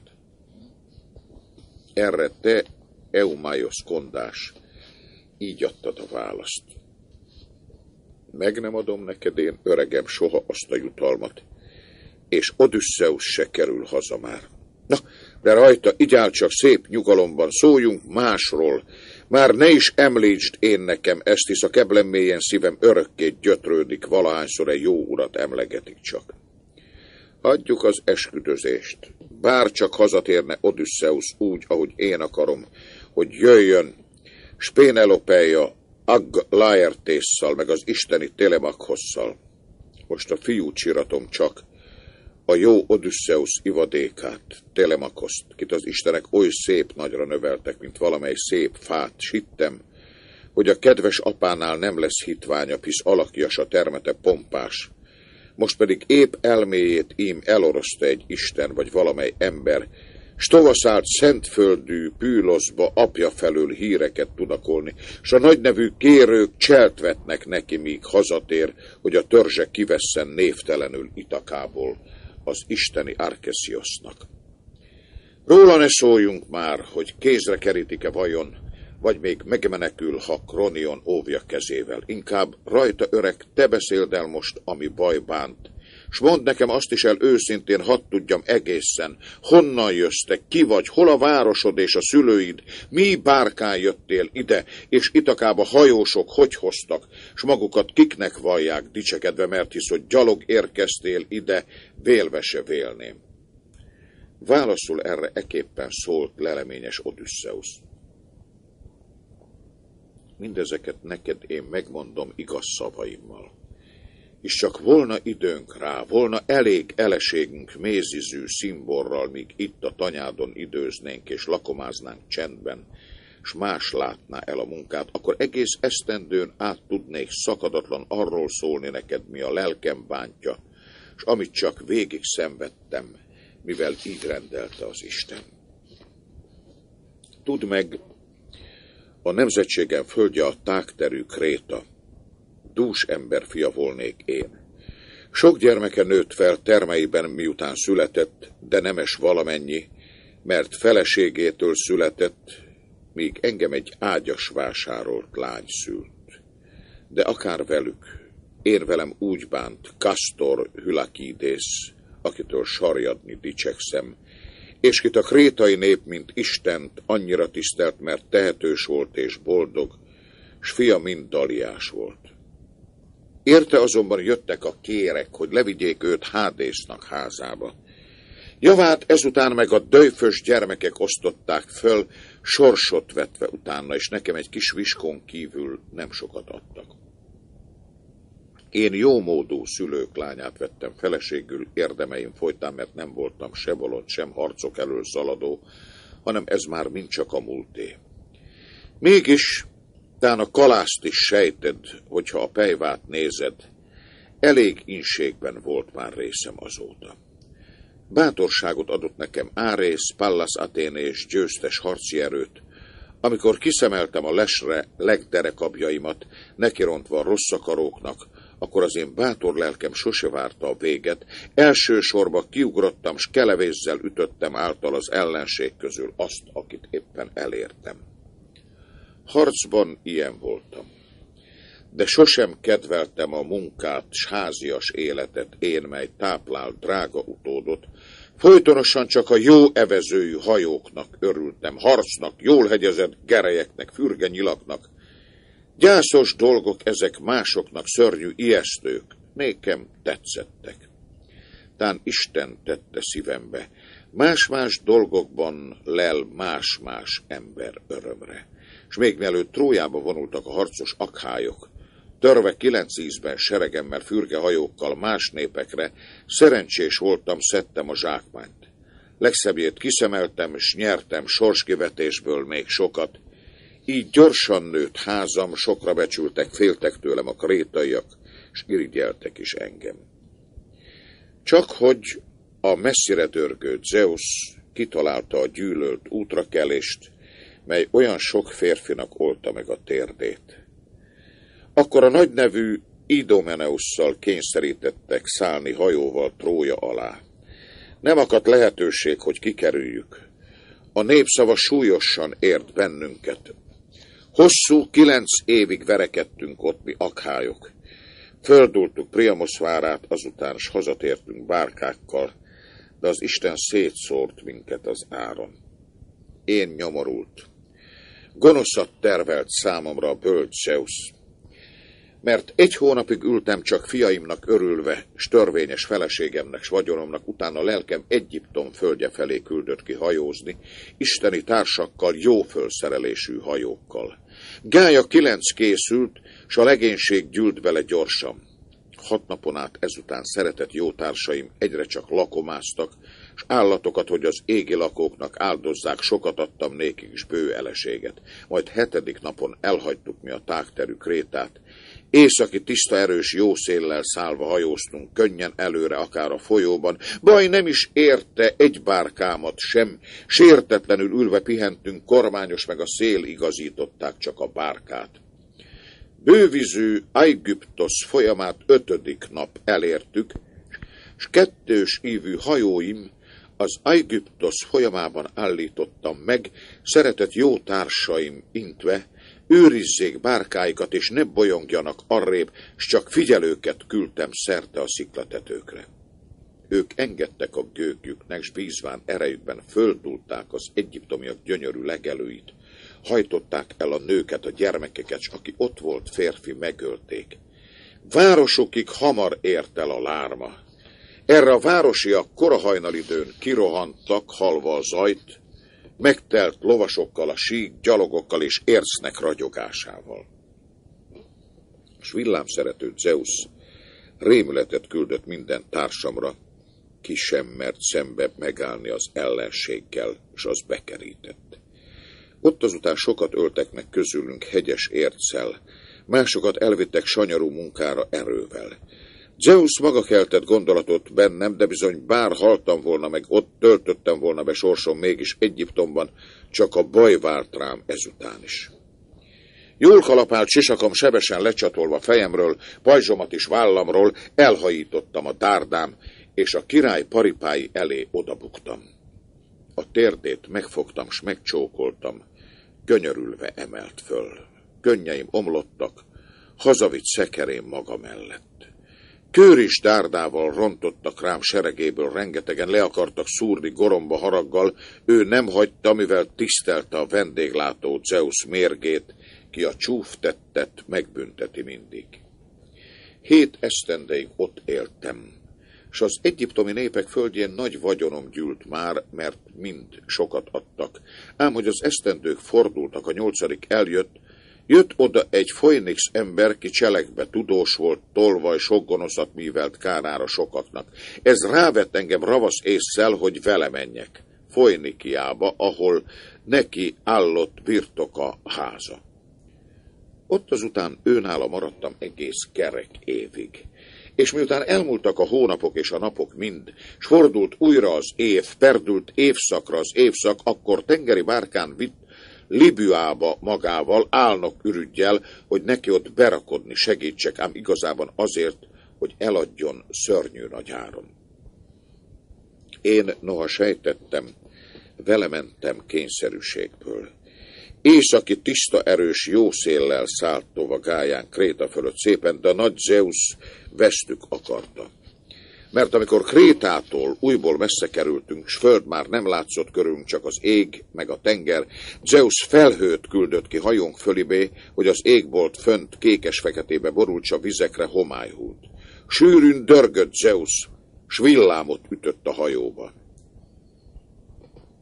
Megrendült a hajó, amikor Zeus mennyköve érte, megtelt kénfüsttel kizuhantak a társak a vízbe. Barna hajón körül úszkáltak, mint tengeri varjak habtarajon. Hazatértüket így elorozta az Isten. Nékem azonban Zeus, bármint búsult is a lelkem hosszú nagy árbocfát a sötétkék orrú hajóról ott maga tett a kezembe, hogy elmeneküljek a vészből. Rácsimpaszkodtam, s a dühös űztek előre. Hosszú kilenc napon át hányódtam, utána vak évben hömpölyödő nagy hullám Teszprót földre taszított, ott meg a Teszprótok fejedelme a hőszívű Fejdon vendégül fogadott. Szeretett fia lelt meg a parton, dér és fáradtság kínzottan, s vitt haza nyomban, kézzel fölsegített, így vitt el az apja lakába, s köntössel látott el amott ingel köpenyeggel. Ott hallottam Odysseusról, mert mondta, hogy őt is vendégként tartott, amikor honiföldje felé ment. Kincseket is mutatott, melyeket gyűjtött nagy Odysseus, réz meg arany volt ott, s nagy gonddal megkalapált vas. Még tizedik nemzetségének is éppen elég lesz, oly sok kincse hevert a király palotája ölében s mondta, hogy ő Dodona felé ment, hajkoronás nagy tölgy susogásából meghallani Zeus akaratját, hogy hogyan érhet az útján már haza dús itakába, nyíltan-e vagy titkon, mivel oly rég távol időzik. Esküdtet nekem ő, borítalt locsantva a házban, Vár már rá a hajós a legénység készen az útra, és hazakísérik szeretett földjére honának. Engem azonban előbb küldött el, mert hiszen éppen indult egy bárkájuk a termő Dulikionba. Avval Akasztoshoz küldött a királyhoz. Akarta, hogy gondol vigyenek, de azok bősz örültek ellenem akkor mind, hogy egészen a bajba merüljek. Hát, hogy a tengeri bárka a földtől messzire járt, már ott kiderült, hogy rabszolgának akartak eladni. Tépték is le a leplet rólam, az inget, a köntöst, más rossz rongyokat adtak rám, és fosztadozó csúf inget is, ezt, melyet magad is látsz most a szemeddel. Este felé érkeztek a megművelt itakához, jó evező padú bárkának fenekére kötöztek jól sodrott kötelekkel, utána a partra kiléptek, s nyomban a partifokon sietősen megvacsoráztak. Közben az égi lakók könnyen vették le kezükkel durva bilincseimet, fejemet rossz ronyba takartam, s hátul a jól faragott kormánynál csúsztam a vízbe. Mellel rádöltem, s úsztam, kezeimmel eveztem, s gyorsan messze kerültem az ő kikötési helyüktől. Ott léptem ki, hol erdő állt, dús, sűrű virágú, ott vártam kuporogva azok rivalogva kutattak mindenhol. De mikor látták, hogy a nagy keresésből nincs többé hasznuk, fölszálltak a görbehajóra újból. Míg maguk isteneink rejtettek előlük könnyeden el, s egy bölcs ember kunyhója ölébe hoztak, mert az a sorsom, hogy még élve maradjak. Néki te, Eumaios kondás, így adtad a választ. Jaj, te szegény idegen, bemegindítottad a lelkem, míg mind elmondtad, mi hosszan tűrve bolyogtál. Egyet nem mondtál csak rendben. Nem hiszem én, hogy elhiteted, mit Odysseusról szóltál. Minek is kell épp te neked hazudoznod hasztalanul. Tudom én is, mind tartott haza gazdám, mind gyűlölte az összes égi lakó őt, hogy nem esett el a trójai harcban, és a szerettei karjai köz sem halt meg utána, mert neki halmot emeltek volna az összes akályok, és ő nagy szerzett hírt hagyhatna fiának örökbe. Ám de a szélviharok tovahorták dicstelen innen. Én itt őrzöm a disznót, városba se nézek, csak ha okoszívű Pénelopé óhagyja, hogy innen elmenjek hozzá, mert hallott hírt valahonnan. Mindenről faggatják ők, körülölelve a vándort, az ki búsul, mivel oly rég messze időzik a gazda, és ki örül, mert büntetlen fölemészti a házát.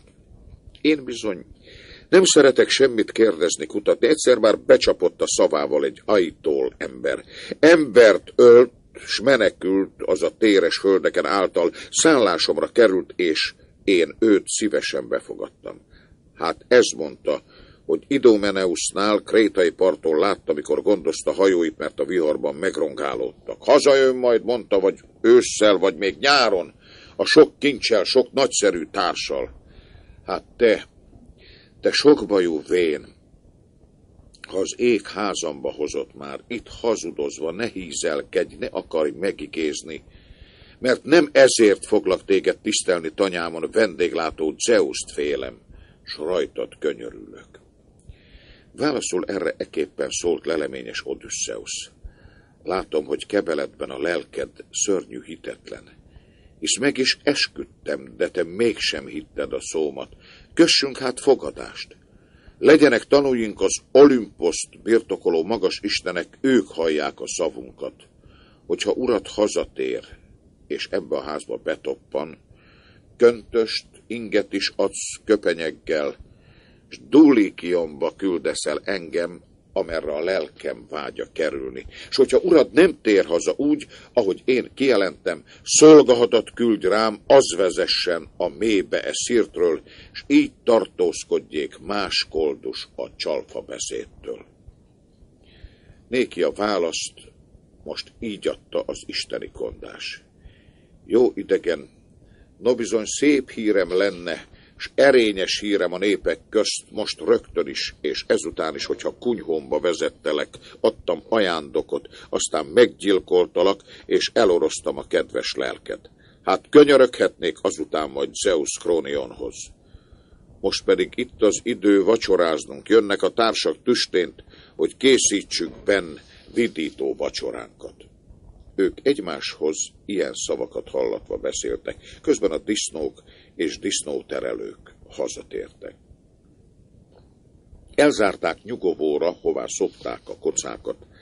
Rettenetes zaj csaptak azok, mikor ólba nyomultak. Társaihoz pedig így szólt ekkor az isteni kondás.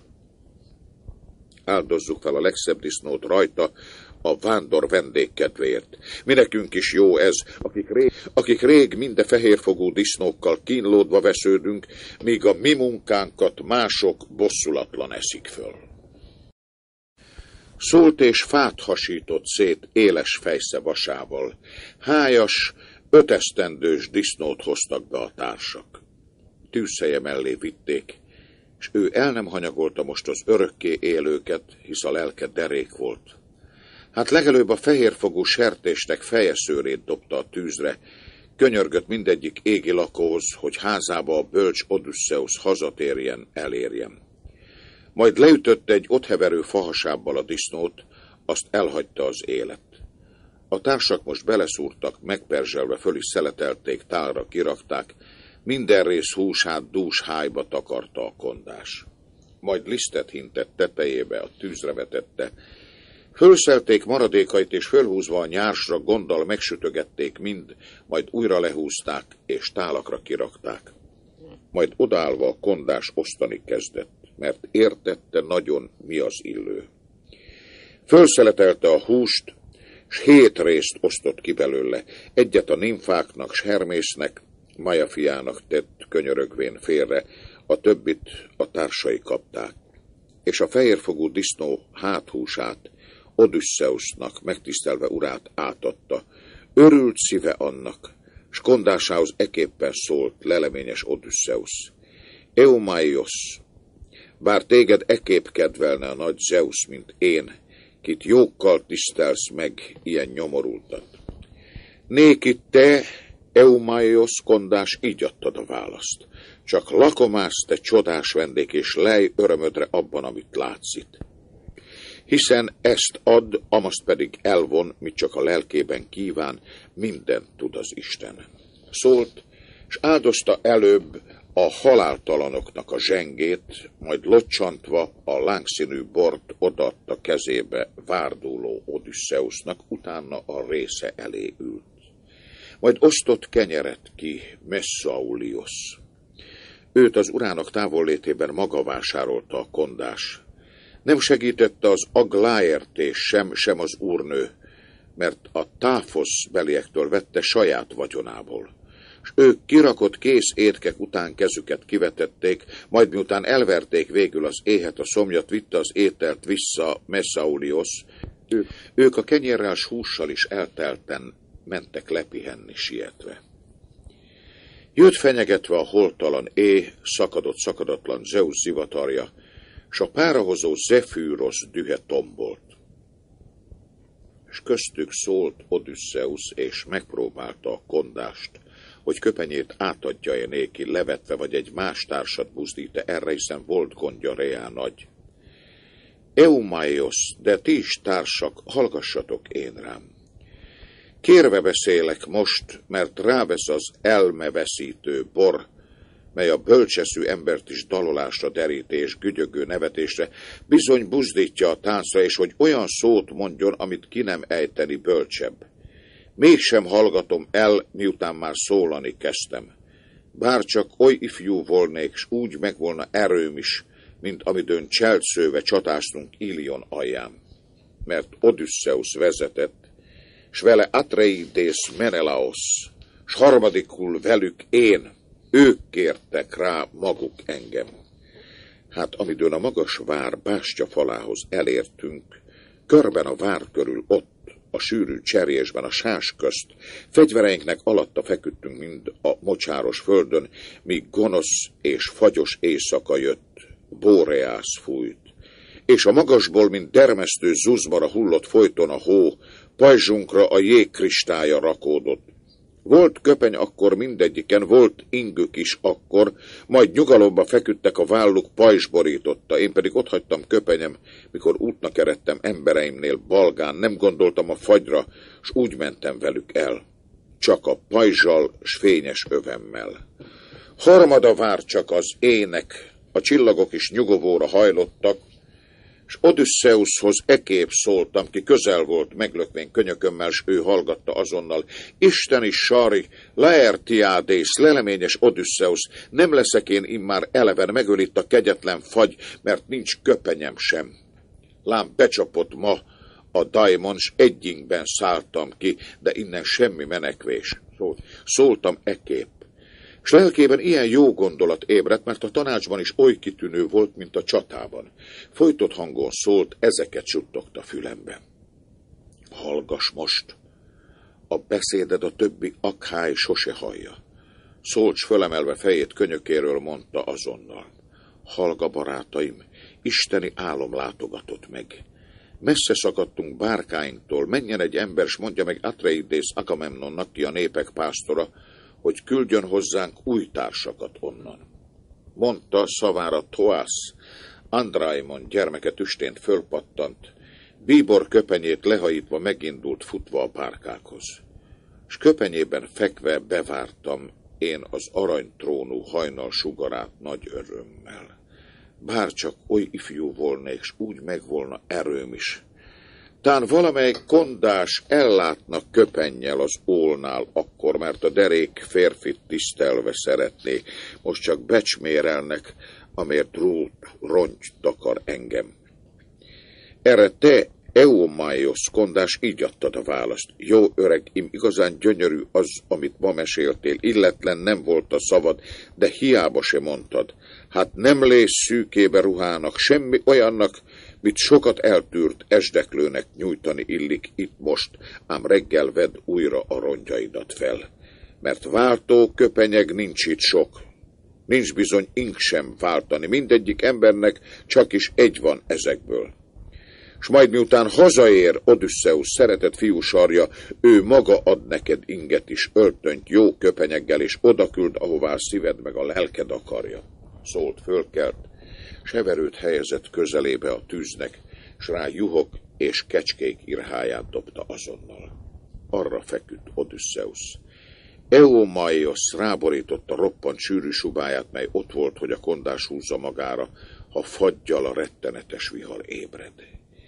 Így hát ott szunnyadt Odysseus, körülötte a többi ifjú férfi aludt, de a kondásnak sose tetszett disznóktól távol maga is, hogy köztük aludjék.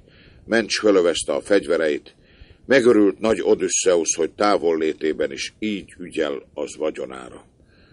Az meg az éles kardot erős vállára kötötte. Szélelhárító, sűrű-szőrű, subát kanyarított válla köré, s rá irháját hízott gödőjének, fogta hegyes gerejét a kutyák meg az emberek ellen. S ment lepihenni az ólhoz, ahol Bóreás dühe ellen mind a fehérfogú disznót öblös sziklat akarta. 15. ének Telemakhoz megérkezik Eumaioshoz. És most tágtáncterű Spárta felé sietett el Aténé, hőslelkű Odysseus ragyogó sarjának idézni már az eszébe, hogy induljon haza, otthona várja. Telemakhoz s Nestor ragyogó sarját a hatalmas nagy Menelaus tornácán szunnyadva találta. Nestor idészt úgy lelte, amint puha álom igázta.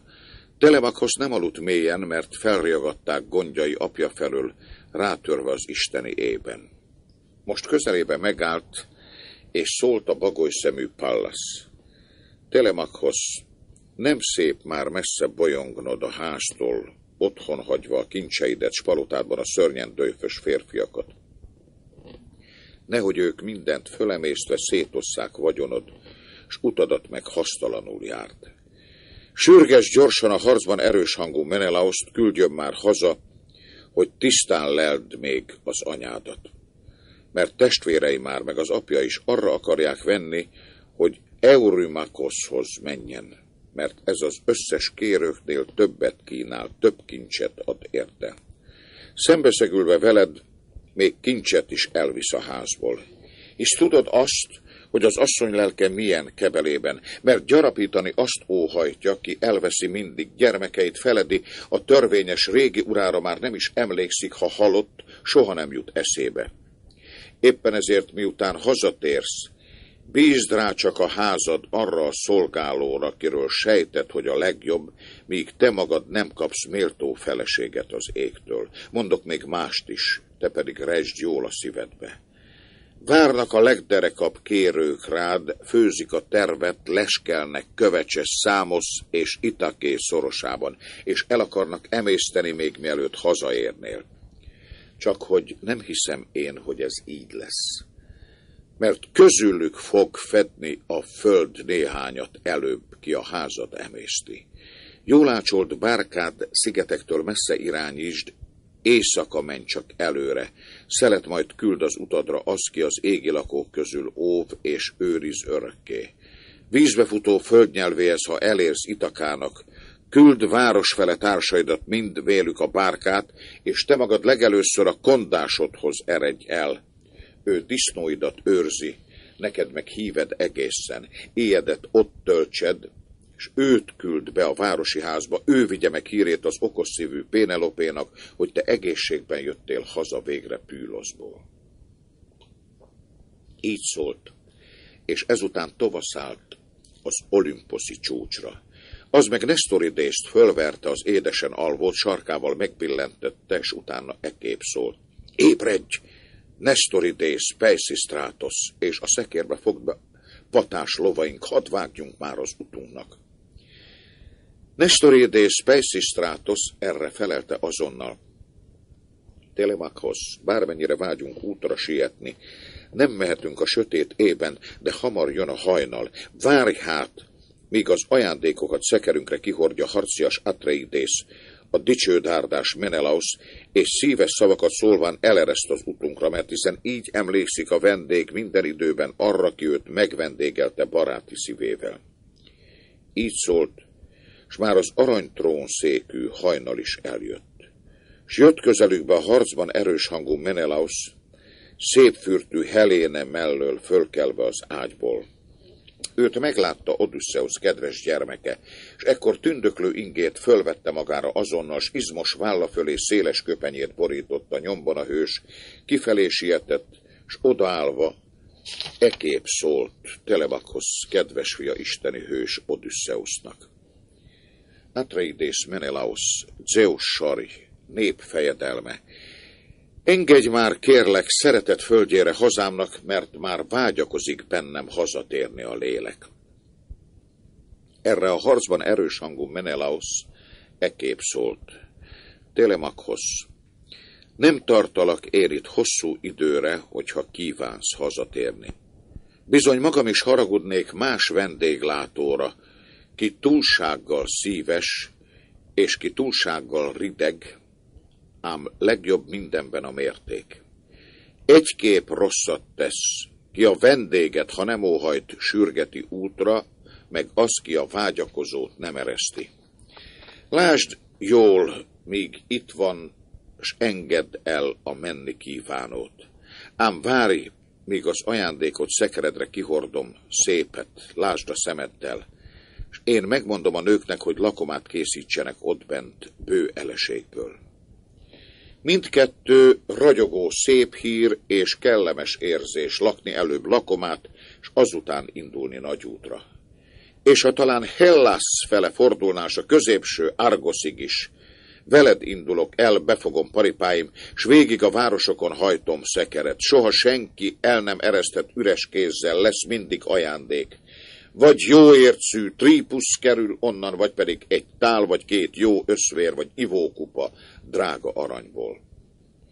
Erre a jó eszű Telemakhoz neki válaszul így szólt. Atreides Menelaos, Zeus sari népfejedelme, már a mi háztájunkra szeretnék menni, hisz otthon eljövet őrt sem hagytam, hogy vagyonomra vigyázzon. Isteni édesapám keresem, s még elveszek én is, vagy valamely kitűnő kincs tűnik még el a házból. Meghallgatta a harcban erős hangú Menelaus, és rögtön szólt feleségének, meg a szolgálóknak, hogy lakomát készítsenek ott bent bő eleségből. Jött hozzájuk utána Boétoidész Eteoneus ágyból kelve, mivel hogy nem volt messze lakása. Néki parancsot adott Menelaos, gyújtsa a lángot, süsse a húst, hallotta, nem is volt szófogadatlan. Ő maga illatozó hálótermébe vonult el, nem maga lépte el csak, vele ment Heléne és Megapentész. És miután odaértek, hol sok kincse magaslott, Atreides akkor kettő szép kejhet emelt föl, drága ezüst vegyítő vödröt bízott a fiára, hozza ki azt. S Heléné odállt ládái elébe, Bennük a tarkaruhák voltak, miket ő maga himzett. Egyet ezekből vitt Heléné ki az isteni asszony, azt, amelyik leghosszabb volt, legszebb díszítésű, és csillagként ragyogott legalul minden ruha alján. Mentek utána a termeken át, míg újra nem értek Telemakhozhoz, és szólt most szőkehajú Menelaos. Telemakhoz, hazatérted, ahogy kívánja a szíved, úgy vigye véghez Zeus, hérét dörgő szavú férje és ama sok kincsből, ami csak hever itt palotámban, legbecsesebbet, s legszebbet fogom én neked adni. Szép mívű, vegyítő vödröt fogok adni, ezüstből készül teljesen, és az arany beborítja szegélyét, Hephaistos keze munkáját. Hős Fajdimos adta, Szidóniak fejedelme, mikor palotája fedett be, még hazatértemkor nekem, ezt szánom neked, íme. Így szólván, kettős kejhét odaadta kezébe Atreides hős és ama fényes ezüst vegyítőt is Telemakosznak elébe letette a hős Megapentész, majd meg a széparcú Heléne állt oldala mellé fogta kezében a drága ruhát szót szólva kimondta.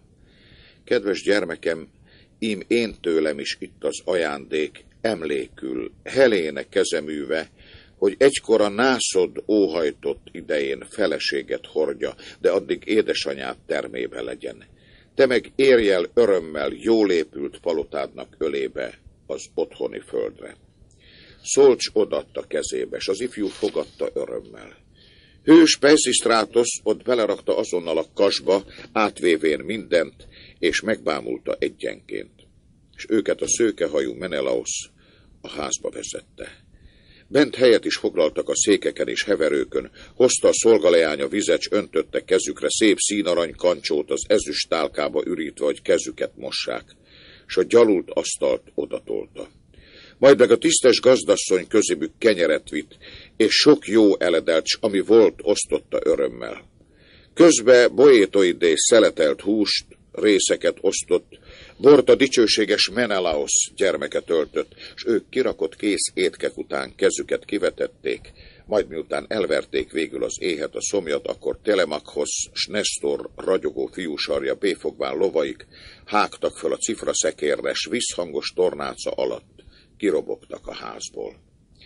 Indult még a nyomukba a szőkehajú Menelaos, mészszívű bort színarany serlegben jobb keze nyújtott, hadd áldozzanak avval még, mielőtt kirobognak. Át lovaiknak elébe köszöntött rájuk eképpen. Ég veletek, fiaim, szívből üdvözlöm a népek pásztora Nestort, mint szerid édesapám, ki olyan volt, míg mi akhályok sarjai trója alatt hadakoztunk. Erre a jó eszű Telemakhoz neki válaszul így szólt. Zeus táplálta király, Neki ezt a beszédet örömmel visszük hírül, el is mondunk mindent. Hazatérve, bár Itakában lelném én is a házban Odysseuszt, megtudná tőlem, hogy nálad minden örömben részem volt, oly sok gyönyörű kincset viszek innen.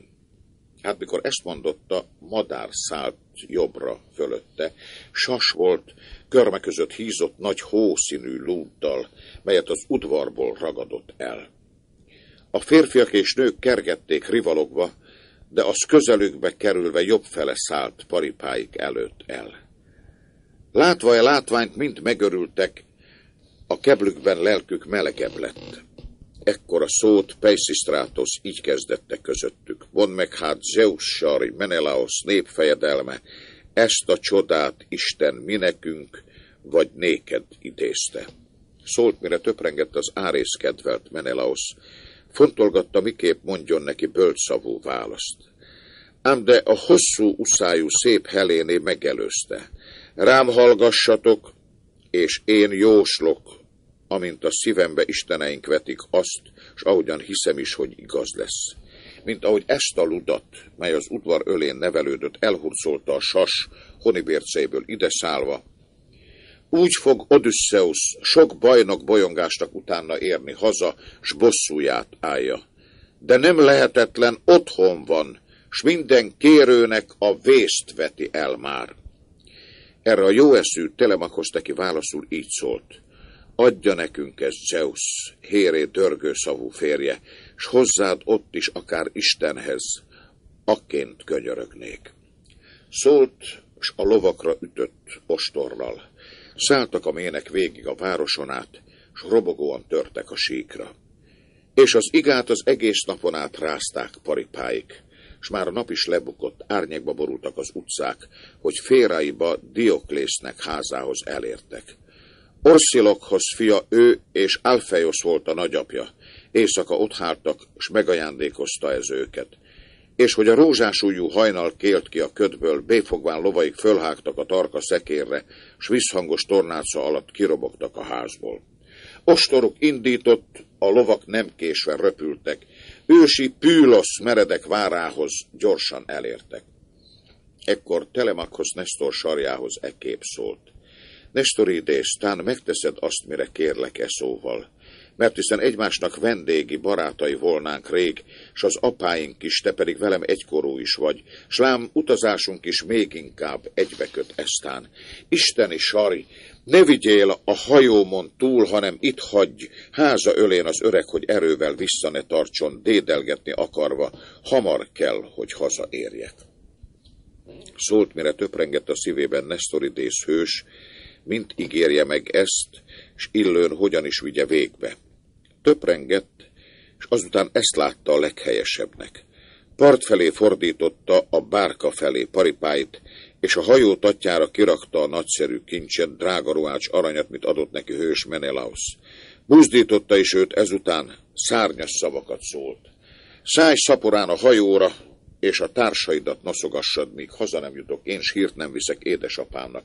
Mert hisz a lelkemben s a szívemben jól tudom úgy is, mennyire zsarnoki benne a kedvesség, s nem ereszt el, még maga jő, érted, s hiszem is, hogy vissza sem indul nélküled, és még akkor is én rám fog haragudni. Szólt és megcsapkodta sörényes szép paripáit vissza Pűlosz fele, szállt, és palotáját gyorsan elérte. Telebakhoz meg a társaihoz buzdítva kiáltott. Társak, a fölszerelést rakjátok a barna hajóra, szálljunk föl mi magunk is, hogy már útnak eredjünk. Szólt, s nagyon is hallgattak rá, tették a parancsát. Fölszálltak szaporán, evezők mellé telepettek. Ő ezeket végezve könyörgöcs áldozatával járult Pallas elé a taton. S közelébe egy ember messze vidékről jött, Argosból futva, hol embert ölt. Egy jós, ki Melampus törzséből született volt, az Pűlosz alján élt hajdan, hol a birka tenyészik, s a Pűlosz beliek közt dús volt nagy palotája. Onnan más községbe futott, menekülve hazája földjéről. Az erős nagy Néleus űzte el onnan, és azután vagyonát bitorolta egész kerek évig durva erővel, s ő ez alatt Pülakosz házában fájdalmas kötelékek közt nagy kínokat állt ki, Néleus lánya miatt, és súlyos vétke miatt is, melyre az istennő rávette a szörnyű Erinüsz. Megmenekült végül, s Fülakéból űzte a bőgő csordát messze Pűloszba, s utána az isteni Néleus rettenetes bűnéért bosszút állt, hazahozta fivérének a lányt. Maga ment más földre a híres lónevelő Argosba, ahol most laknia kellett, s Argos nagyszámú népén gyakorolta uralmát vett feleséget. Nagy tetejű palotát is emelvén. Két daliás fia is született ott, Antifátész és Mantios. Antifátész nemzette a hőszívű Oikleuszt, és Oikleus meg a nép ösztönző Amphiároszt. Itt szívből szeretett pajstartó Zeus meg Apollon. Sok jele volt ennek. De nem ért akkor küszöbére, mert asszonynak adott kincsért tépában esett el. Két fia is született Alkmaon Amphilokosszal, testvérének Kleitos volt fia és Polyphyeides. Csak hogy aranytrónú Eos azt beszeragadta nagy szépsége miatt. Éljen csak az égi lakók közt. S nagylelkű Polypheidészt jósá tette Apollon, legjobbá, miután már meghalt Amphiáráosz. Ő Hyperessiába vonult, Apjára haragvón jóslatot onnan kaptak tőle a földi halandók. Ennek a sarja, Teoklymenos jött most közelükbe, s Télemakhoszhoz járult. Őt ott lelte a fürge barna hajónál épp, amidőn áldozva könyörgött. Telemakhoz szólítva tehát szárnyas szavakat szólt. Kedvesem ím, miután áldozva talállak-e földön, áldozatodra könyörgök, a daimonodra, s utána drága fejedre, s akik követőid a társaidéra, Mondd nekem őszintén el, amit kérdek, sose titkolt, honnan jöttek, ki vagy, hol a városod és a szülőid. Erre a jó eszű Telemakosz neki válaszul így szólt. Ezt neked én idegen, megmondom igaz szavaimmal. Hald, Itakába való vagyok én, az apám meg Odysseus, hogyha ugyan volt, mert már meghalt szörnyű halállal. Érte hivattam a társakat, és velük észínű bárkát, és eltűnt édesapámról jöttem a hírt tudakolni. Erre Teoklymenos szólt rögtön az isteni férfi. Tud, a hazámból jöttem el én is. Törzsbeli embert öltem. Sok testvére van és sok sógor alakja lónevelő Argoszt. Az akhályok közt a hatalmuk nagy. Szaladok, hogy az észínű vészt, s a halált kikerüljem folyton előlük. A sorsom bolygani földi lakók közt. Engedj hát a hajódra, hiszen hozzád menekültem, el ne emészenek ők, mert félek jönnek utánam. Erre a jó eszű Telemakosz neki válaszul így szólt. Én az arányos bárkáról le nem üzlek erővel, jár velem. Otthon, ahogy tőlünk telik, úgy fogadunk be. Szólt, és ércegyű dárdáját kiemelte kezéből, és az arányos bárka fedéldeszkáira tette. Majd maga is fellépve a tengeri fürge hajóra, és tatjára leülve, Teoklymenoszt maga mellé ültette, és köteléket eloltak a társak a bárkán. Telemakosz meg társaihoz buzdítva kiáltott, hogy rakják föl a fölszerelést. Rakták is azonnal.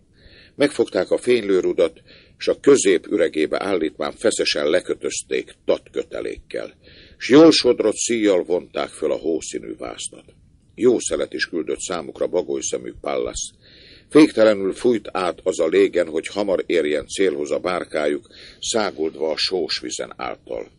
Krunoi szépvizű Kalkis mellett szálltak el ekkor. S már a nap is lebukott. Árnyékba borultak az utcák, s íme Feraiba vetette rohanván Zeus szele őket, s onnan az isteni Élisz alá, hol Epeioszi nép él. Onnan előre haladt a hajó Szirtes szigetek közt, s Telemakhoz töprengett, megmeneküle vagy elvész.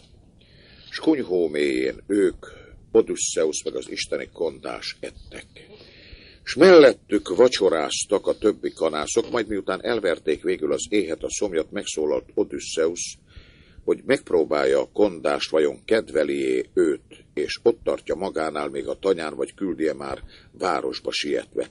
Eumaios, de ti is társak, hallgassatok én rám. Áhítozom hajnalban a városotokba sietni, és koldulnék, nehogy itt rajtad meg a társakon éjek csak te tanácssal el, és adj jó társat az útra, jó vezetőt. Kényszerből járom utána a várost, már magam is, hisz italt kenyerettán vetnek elébem. Fölkeresem majd isteni hős Odysseus palotáját, hogy mondhassak hírt az okosszívű Pénelopénak, és a nagyon döjfös kérők seregébe vetülnék, adnaktán eledelt, hisz bőven fekszik előttük. Dolgozhatnék is számukra, amit csak akarnak, én bizony elmondom, s te figyelj rám, halld meg a szómat hírhordó Hermész kegye folytán, mert hisz az ember munkájának hírt és kellemet ő ad a földön. Földi halandó nem vetekedhetik én velem úgysem tűzélesztésben, s jobban tudok én hasogatni száraz fát, hússzelni, kisütni, kitölteni bort is, és mindent jelesebbnek, mint megtesz kisilányabb. Erre te Eomaios kondás sóhajtva felelted. Ó, te szegény idegen, hogyan is jut eszedbe ilyesmi? Tán bizony oly nagyon áhítozol pusztulni közöttük. Hát te a kérőknek tömegébe kívánsz keveredni, kiknek szörnyű döjfe az érc égboltig is elhat. Tudd meg, a szolgahaduk hozzá csöppet se hasonló. Ifjak azok jó ingben járnak, szép köpenyekben, és a fejük ragyogó és fésült, arcuk is ápolt, kik szolgálják őket. Az asztalokot legyalultan roskadnak bortól, kenyerektől és pecsenyéktől. Rajta maradj köztünk, sose vagy terhünkre, ha itt élsz, sem nékem, sem a társaknak, kik az ól körül élnek. S majd miután hazaér, Odysseus szeretett fiú sarja, ő maga ad neked inget is, öltönyt, jó köpenyeggel, és odaküld, ahová szíved meg a lelked akarja. Válaszul így szólt most a sokat tűrt isteni férfi. Eumaios, bár téged ekképp kedvelne a nagy Zeus, mint én, kit te a csúf bolygástól megszabadítasz. Mert hisz a földön nincs is rosszabb, mint a bolyongás. Ám a veszett gyomorért tűr mindig sok nyomorú kint, az, kit elér útján a bolyongás, fájdalom és baj.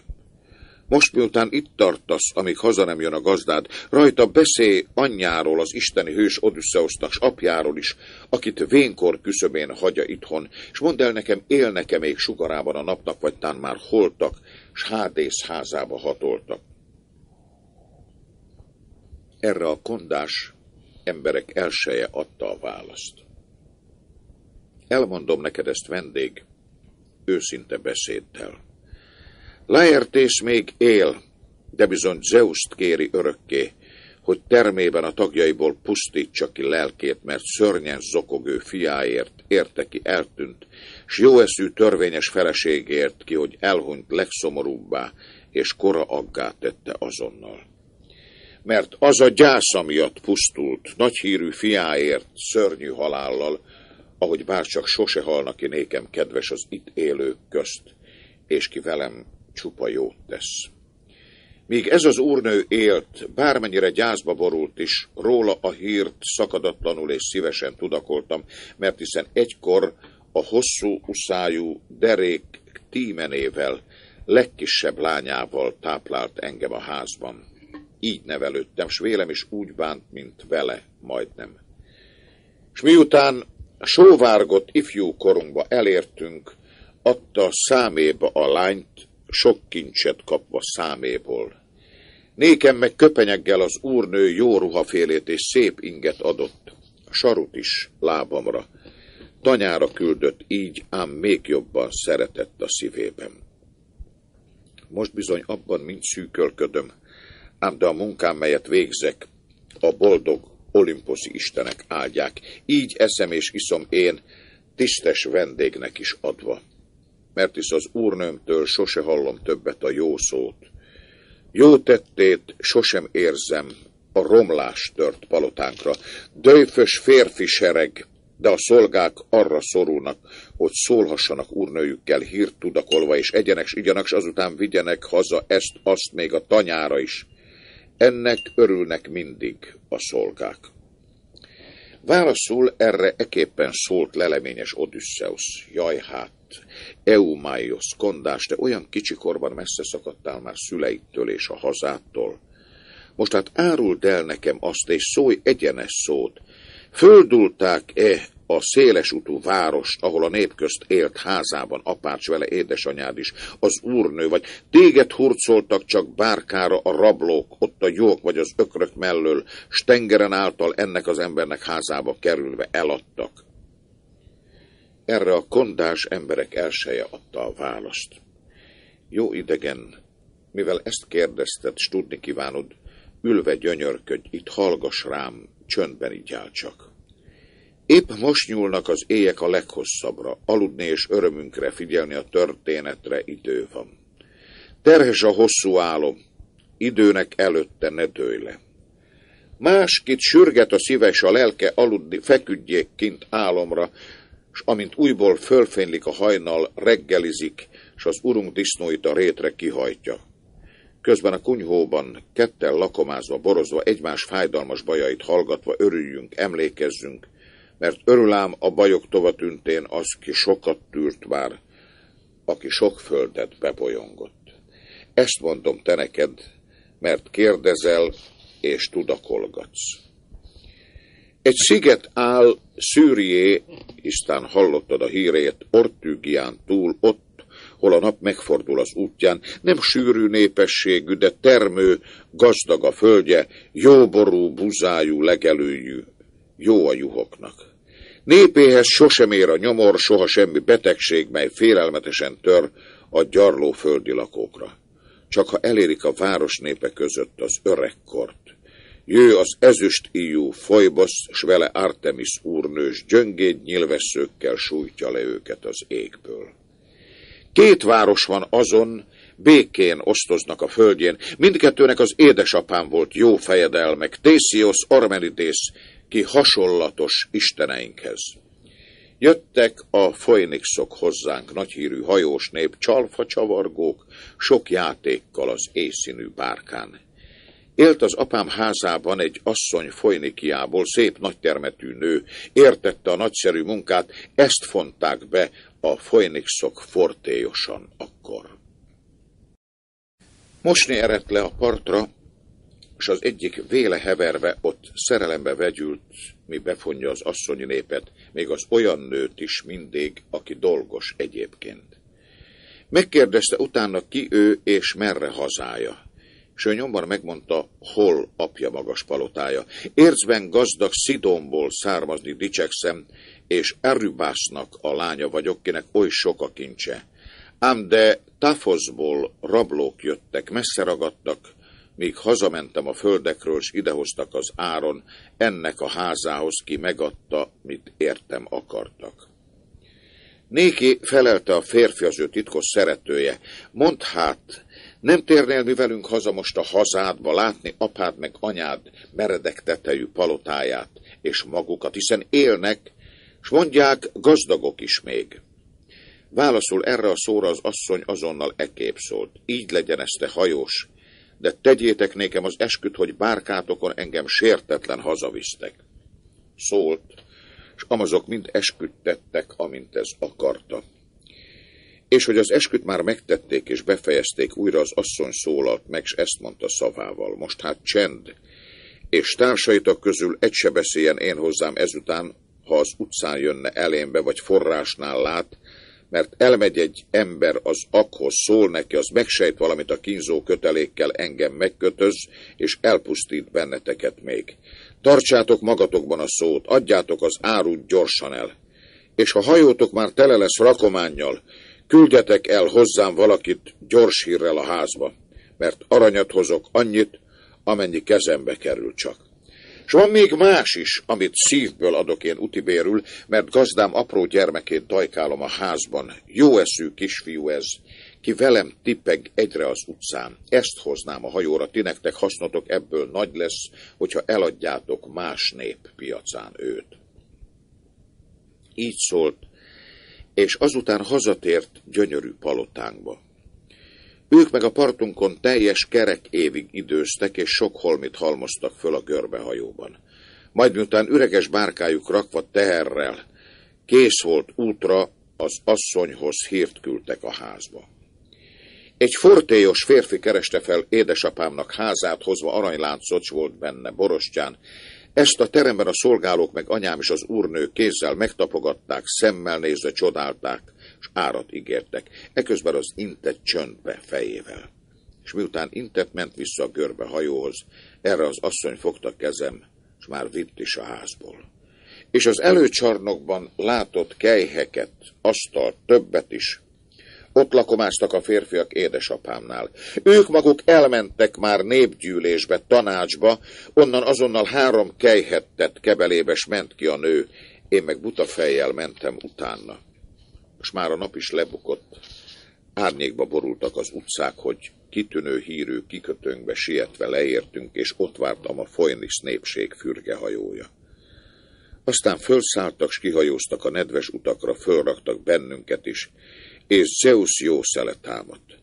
Hat nappon, éjjelen át azután szakadatlan eveztek csak, hogy amint a heted napot adta utána Kronion, Artemis akkor a nyíl szerető lenyilaszta az asszonyt, és ő a hajó zuhant, mint tengeri sólyom.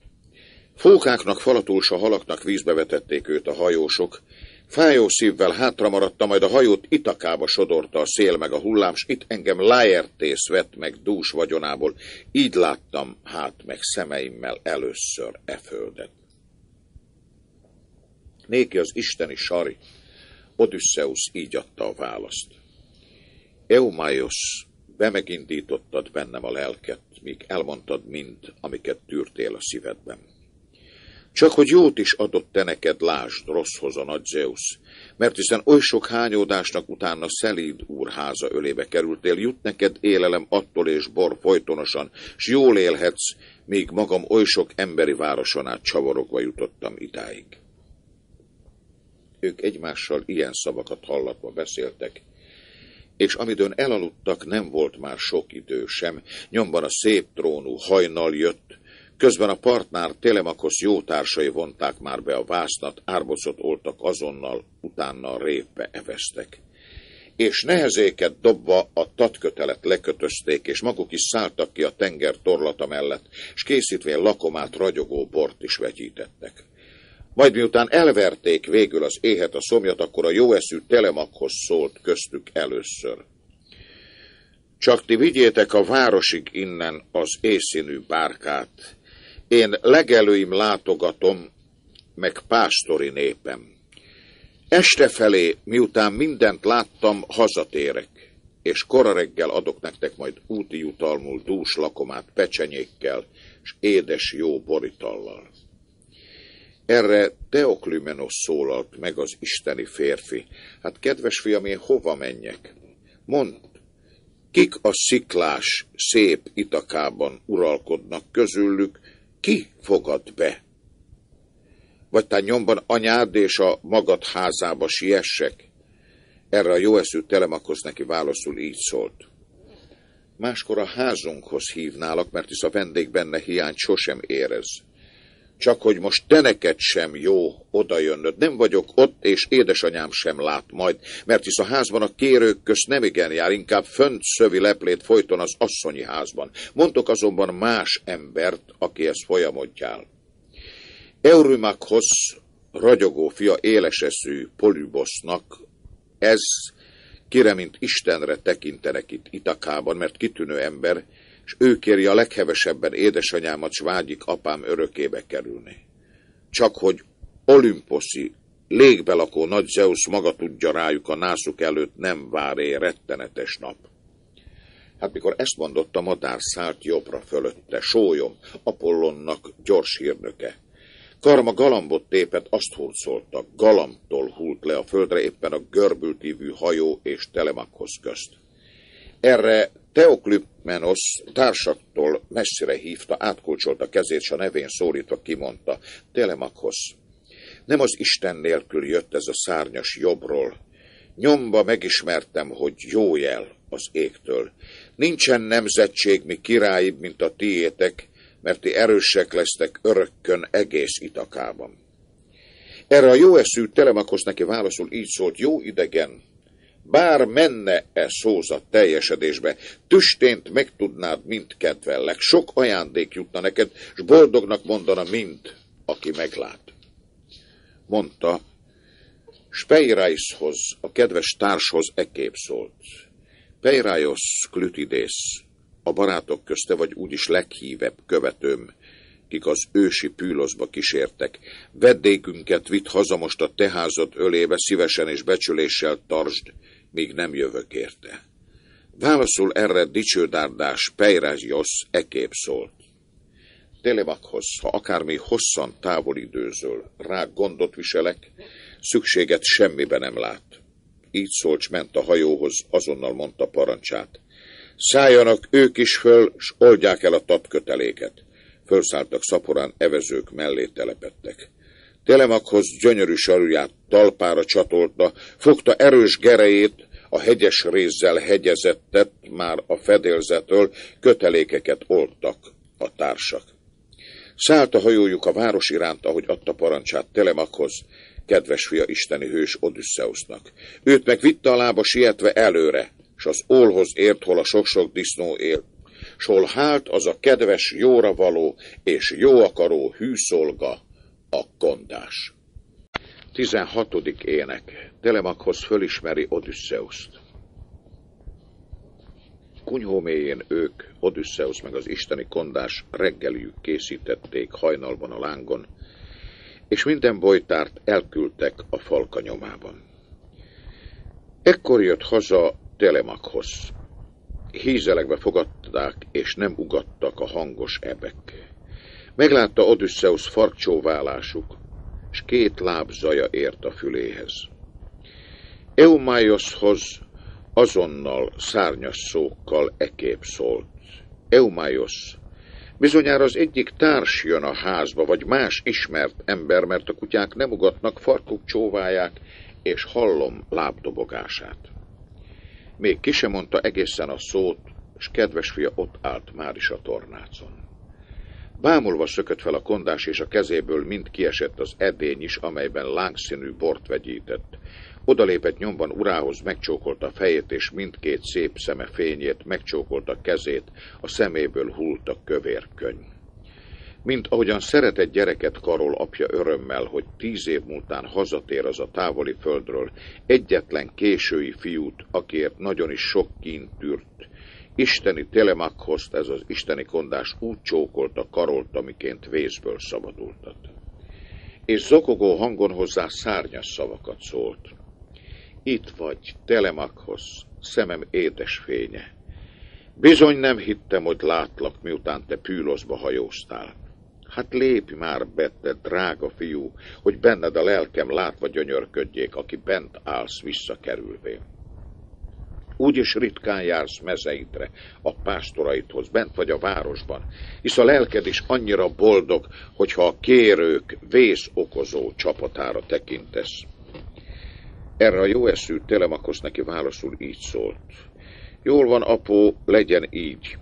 Te miattad jöttem amúgy is, hogy szemeimmel lássalak és hírt halljak a szádból. Házunkban van-e még az anyám, vagy már valamely más férfiú vette talán nőül, s Odüsszeusz nyoszójája rút pókhálókkal teleszőttem fekszik-e árvám. Néki a kondás emberek elseje így adta a választ. Ott maradott nagyon is tűrő lélekkel a házban. Őrzi a termeidet most is, keserű síralomban hervad az éjjel a nappala, hullnak a könnyei folyton. Szólt, és érchegyű dárdáját kiemelte kezéből. Az meg a kőküszöbön hágván át ment be a házba. Átengedte helyét neki nyomban az apja Odysseus. Csak hogy Telemakhoz nem hagyta, ilyen szavakat szól. Csak te maradj vendég, mi lelünk másutt is ülésre szállásunkon, és itt van az ember, majd idehozza. Szólt, és Odysseus ment vissza, leült. A fiúnak a kondás zöld leveles gajakon bundát borított le a földre, ott azután le is ült Odysseus kedves fiú sarja. Erre fatálon készített ki elébük a kondás sült húsokat, miket ők az imént hagytak lakomázán, és hordott hozzá kenyeret sebesen kosarakban, kancsóban vegyített mézédes bort is utána, s ő maga szemközt ült le az isteni hős Odüsszeusszal. S ők kirakott kész étkek után kezüket kivetették, majd miután elverték végül az éhet a szomjat, akkor Télemakhoz kérdezte az isteni kondást. Honnan, apó, ez a vendég, mond? Itakába hajósok hogy hozták, s magukat kiknek vallják dicsekedve, mert hisz, hogy gyalog ért hozzánk ide, vélve se vélném. Néki te, Eumáiosz kondás, így adtad a választ. Ezt, fiam, én elmondom néked igaz szavaimmal. Tágterű Krétát vallja szülőföldjének a vendég, és azt mondja, sokat bolyongott, sok földi halandó városa földjén megfordult. Így szőtte a daimon. Most Teszprót bárkáról szökve szaladt ide hozzám, szállásomra került, s neked őt én átadom, íme tedd, amit óhajtasz, esdekelődnek lenni dicsekszik. Erre a jó eszű Telemakosz neki válaszul így szólt. Eumáiosz, te derék, szavaid szívemet szomorítják. Hogy fogadom be a vendéget most házam ölébe? Én magam oly fiatal vagyok, és nem bízom erőmben, hogy megvédhessem, ha viszályt kezd véle akárki. Édesanyámnak a lelke pedig már kétfele hajlik, várjon-e itt velem, és őrizze, vezesse a házat hitvesi ágyához hívens, kikerülve a rossz hírt, vagy válassza-e már az akhályok legderekabját, oly kérőt, aki legtöbbet nyújt érte a házban.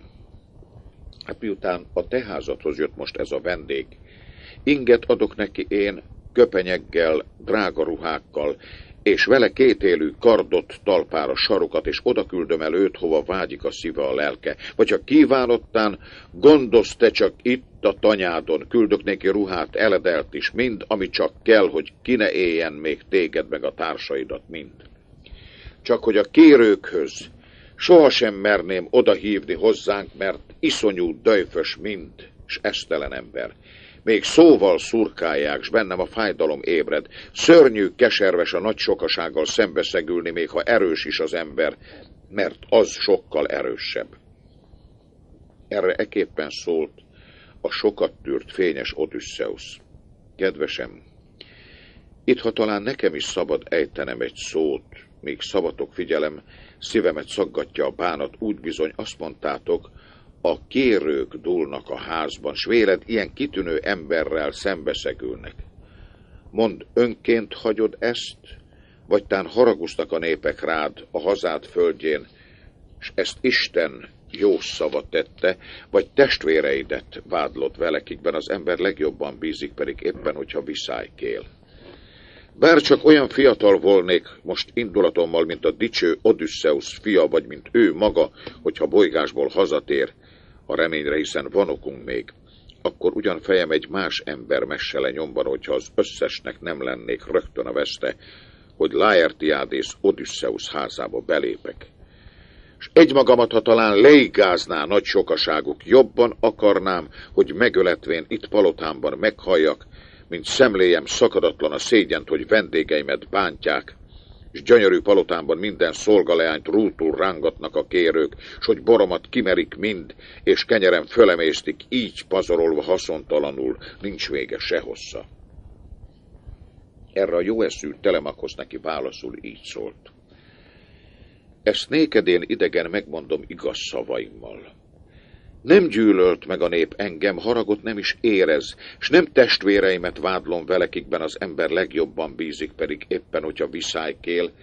Zeus hiszen egysarjúvá tett bennünket a földön, mert Arkeissos egyetlen fia volt Laertész, és egyetlen fia volt Odysseus neki, és engem Odysseus egyetlent hagyja itt, nem lelhetvén örömére. Ő neki most iszonyú sok a rossz akarója a házban mert itt a szomszédos szigetek csak körben uralnak.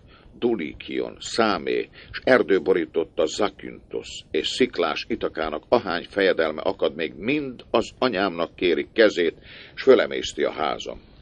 Ő meg a gyűlöletes nászt nem veti el, de nem is tud dönteni végképpen, és ez alatt palotámat a kérők mind föleszik, és engem magam is még szerte szakítnak. Csak hogy mindez az isteneink térdén feküszik még. Indulj útnak, apó, sebesen, szólj Pénelopénak, hogy nincs semmi bajom, s hazaértem végre Pűloszból, én pedig itt maradok. Jár vissza utána tanyádra, csak neki mond egyedül, sose kell, hogy más az akhályok közt meghallja, hisz oly sok tör közülük gonoszul rám. Néki te Eumájos kondás így adtad a választ. Hallom is, Értem is én, magam is tudom azt, mire intesz. Most pedig áruld el nekem azt, és szólj egyenes szót. Menjek-e egyben Laertészhoz is ezzel a hírrel, míg Odysseus gyászolta, csak ő keserű síralomban, addig a munka után még nézett otthon a szolgák közt, meg evett, meg ivott, amikor csak a lelke akarta, Ám most már, amióta Püloszba hajón tovaszálltál, azt mondják, nem eszik, nem iszik, nem ügyel fel azóta munkájára cselédeinek, de nyögő síralomban ül jajgatva, s csontjairól sorvad le a húsa. Erre a jó eszű Telemakosz neki válaszul így szólt. Fájdalmas, hanem őt hagyjuk, noha szaggat a bánat, hisz ha mi dönthetnénk el bármit, földi halandók, Édesapám hazatérését kérnők legelőbb is. Hát ha a hírt megvitted, jár csak vissza, s a földön át érette ne kószálgas, hanem édesanyámnak mond, hogy szolgaleányt küldjön, sebesen ki titokban menjen el ő hozzá, és így hírt az öregnek az adjon. Szólt és küldte a kondást. Az meg fogta saruját és lábára csatolva elindult. Csak hogy Aténé látta, hogy Eumaios kondás odaadja tanyáját, jött is hát közelebb, viruló szép asszonyalakban, mint nagy termetű nő, aki érti a nagyszerű munkát. És Odysseusnak tűnt föl a kunyhó ajtaja mellett. Telemakosz nem látta azonban, és észre se vette, nem mindenki előtt jelenik meg nyíltan az Isten. Ám Odysseus s a kutyák látták, a kutyák nem ugatták, iszkoltak nyöszörögve az udvar mély zugolyába. Intettő a szemöldjével fölfogta Odysseus, ment ki a házból, és a nagy udvari fal közelében állt meg előtte, és Aténé hozzá így szavakat szólt. Isteni Sari, Laertiádész, leleményes Odysseus, Mondd ki fiadnak a szót most már, sose rejtsed előle, hogy kérők csapatának a vészt készítve a véget, menjetek el híres nevű városotokba, de én sem hagylak el immár hosszan, mert már vágyom a harcra. Szólt és hozzáért aranyos pálcával a téné. És legelőször tiszta palástot adott s vele inget melleköré, s fiatallá tette megint daliássá. Arca megint megtelt, megbarnult újra a bőre, álla körül kékes-feketén csillant a szakálla, ezt mímelve megint elment, de a bajnok Odysseus kunyójába került. Megdöbbent jófia tüstént, másfele vetve szemét félt, hát ha egy Isten a vendég, és őt megszólítva ekép szárnyas szavakat szólt. Másnak látszol most idegen, mint még az imént is. Más a ruhád, még bőröd színe is annyira más lett. Jaj, bizonyára egy Isten vagy te a tágterű égből. Hát, hát könyörülj rajtunk, hogy vedd szép áldozatunkat, s drága ajándékot színaranyból, kímélj minket. Erre eképpen szólt a sokat tűrt isteni férfi. Nem vagyok én Isten, minek is vetnél velük egybe. Édesapád vagyok én, akért keserű siralomban tűröd a sok-sok kínt, dőjfét az erőszakosaknak. Szólt és megcsókolta fiát, és hultak a földre könnyei arcáról, melyeket rég visszaszorított. Telemakhoz még el nem hitte, hogy apja, ki ott áll, újra ekép fordult hozzá szólalva szavával. Jaj, nem vagy te, Odysseus, nem vagy apám, de a Daimon bűvöl el engem, hogy még több siralomba zokogjak. Mert, mert hiszen ezt sohasem mivelheti földi halandó bármilyen éles eszű, ha az Isten nem maga jön, hogy kedve szerint könnyen tegye vénné vagy fiatallá. Mert hisz még az előbb vén voltál, csúnya ruhában, most pedig isteneinkre, az égbeliekre hasonlítasz. Válaszul erre eképpen szólt leleményes Odysseus. Télemakhoz, mikor itt van apád bent, már nem is illik ennyire bámulnod, s őt meghökkenve csodálnod, mert sosem ér ide többé hozzád másik Odysseus, én vagyok az, aki a sok baj után, sok hosszú bolyongás múltán érkeztem, húsz évnek utána hazámba. Tudd meg, a zsákmány osztó Pallas műve, amit látsz, könnyen, a kedve szerint ő tett ezzé meg amazzá, egyszer olyanná, mint egy koldus, másszor azonban ismét ifjúvá, rajtam szép drága ruhákkal. Könnyű hisz isteneinknek, a tágterű égbelakóknak földi halandókat szépé, vagy váltani rúttá. Így szólván le is ült. Ráomlott Telemakhoz most hős apjára borult zokogott, és könnyei hultak. Mindkettőjükben vágyébredt, skélt zokogásra, sírtak a nagykörmű kesejüknél is keserűbben, és a sasoknál is, melyeknek gyermekeit még szányra kerésük előtt földművesek elkirabolták. Így pergettek a pillájukról könnyeket ők is. Stán a napi zokogásuk közben szállt le az égről. Telemakosz az apjától nem kérdi azonnal. Min hoztak, mond édesapám itakába, hajósok, mi bárkán, magukat kiknek vallják dicsekedve, mert hisz, hogy gyalog érkeztél ide, vélve se vélném. Erre eképpen szólt a sokat tűrt isteni férfi. Kedves gyermekem, elmondom neked azt, ami történt. Fajákok hoztak haza, roppant hírű hajósok. Mindenkit hazahordanak ők, aki partjukat éri.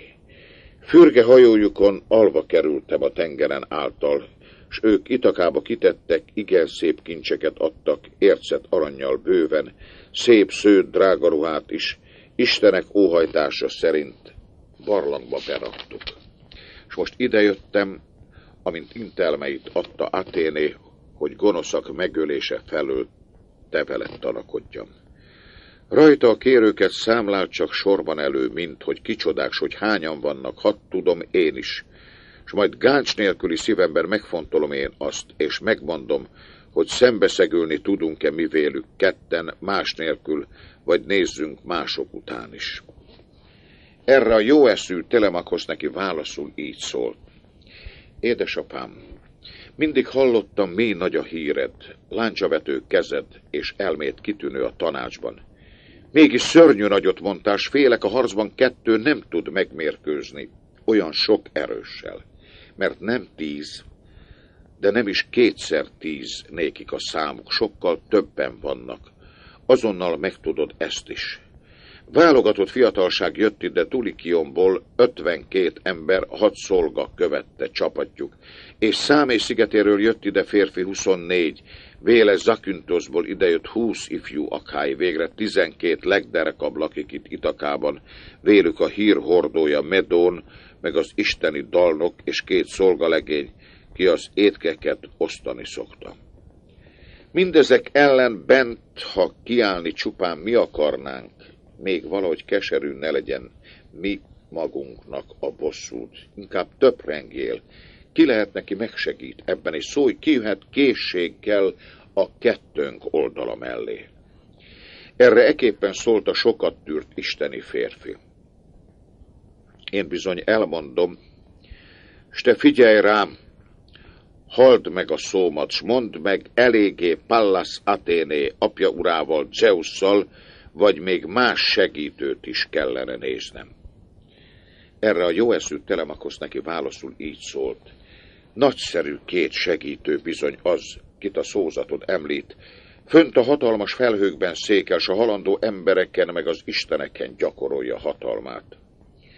Erre eképpen szólt a sokat tűrt isteni férfi. Hát bíz, ezek ketten nem lesznek távol a harci lármától hosszan, ha a kérők és mi közöttünk termem ölében árész erejével a küzdelem indul. Most csak eredj haza, rögtön, amint fölfénylik a hajnal, s otthon a dőfös kérőknek csapatába vegyülj be. Engem a kondás fog városba vezetni utánad, élemedet nyomorult koldusként járom az ösvényt. S hogyha a házban megcsúfolnak, tűri a kedves szíved a kebeletben, bármi csúf dolgok is érnek, még ha a lábamnál húznának is ők kifelé, vagy megdobnának is, és látnád, a türelmedet őrizd. Ám arról, hogy szüntessék meg az ostobaságuk, mézédes szókkal szólhatsz, de hisz úgy sem ügyelnek rád, hisz már közel áll hozzájuk végbeszedelmük. Mást mondok neked én, te pedig vesd jól a szívedbe. Majd amikor javasolja a bölcseszű Pallas Athéné, jeltadok én a fejemmel néked, észre, ha vetted, akkor ahány gyilkos fegyver csak látsz palotánkban, vedd föl, s hord be magas hálótermünk zugolyába mindet. A kérőköz pedig szólj, lágyhangú beszéddel, hogyha a fegyvereket kívánják, s kérdeni fognak. Eltettem, hogy a füst benefussa, hisz egy sem olyan már, mint Trójába menet, mikor itthon hagyta Odysseus. Megfeketült már mindje, ahol csak a láng lehe érte. És még mást is bevetett, komolyabbat, eszembe Kronion. Még valahogy, még valahogy beborozva ne kezdjetek itt veszekedni egymást megsebesítve, s a nőkérést, lakománkat elrútítva, a vas maga vonja magához az embert. Csak mi magunknak hagy két kardot bent, vele tárdát kettőt, s két bikabőr pajzsot, hogy kézbe ragadjuk majd, ha reájuk rontunk hirtelen. Őket a bölcs Zeus bűveli akkor bénává, s vele Pallas Athéné. Mást mondok neked én, te pedig vesd jól a szívedbe. Hogyha valóban a véremből született gyermekem vagy, senki se tudja meg azt, hogy a házában van Odysseus. Még Laertés sem, se a kondás, senki a házban élő szolgákból, maga Pénelopeja se tudja, csak te meg én vizsgáljuk az asszonyok indulatát most. Stán még szolgáink közül is próbára tehetjük ezt vagy amaszt, ki becsül, tisztel közülük bennünket, és ki közömbös, téged az éj nemeset kibecsül le. Néki felelve eképpen szólt ragyogó fiú sarja. Édesapám, te az én lelkem, hiszem én, ezután is meg fogod ismerhetni. Nem is vagyok én hebehúrgya, csak hogy nem hiszem azt, hogy most kettőnknek e tervet hasznos lesz. Kérlek, gondold meg a dolgokat újból. Hosszan, hasztalanul kell vizsgálgatnod egyenként őket a földeken. Addig azok nyugalomban a házban csak kincsünk nyelik el nagy döj fel, mit se kímélnek. Kérlek, hát fürkést ki az asszonyokat valahányat. Kik nem tisztelnek téged, s kik a bűntelenek, tudd. Szállásról szállásra a férfiakat nem akarnám, hogy próbára tegyük, hanem ezt későbbre halasztjuk. Pajstartó Zeus, hogyha valóban adott te neked jelt. Ők egymáshoz ilyen szavakat hallatva beszéltek, és ez alatt Itakába futott az a jófalú bárka társaival, mely Telemakoszt hazahozta Pűloszból.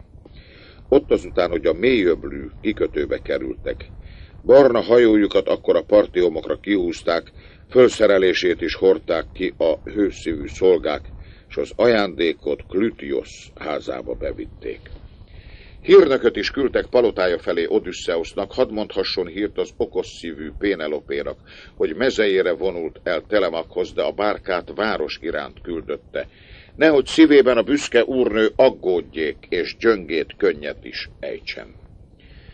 Szembe került az a hírhordó, meg az isteni kondás, és a királynőnek ketten hozták meg az egy hírt. Hát, hogy az isteni úr a király házába kerültek.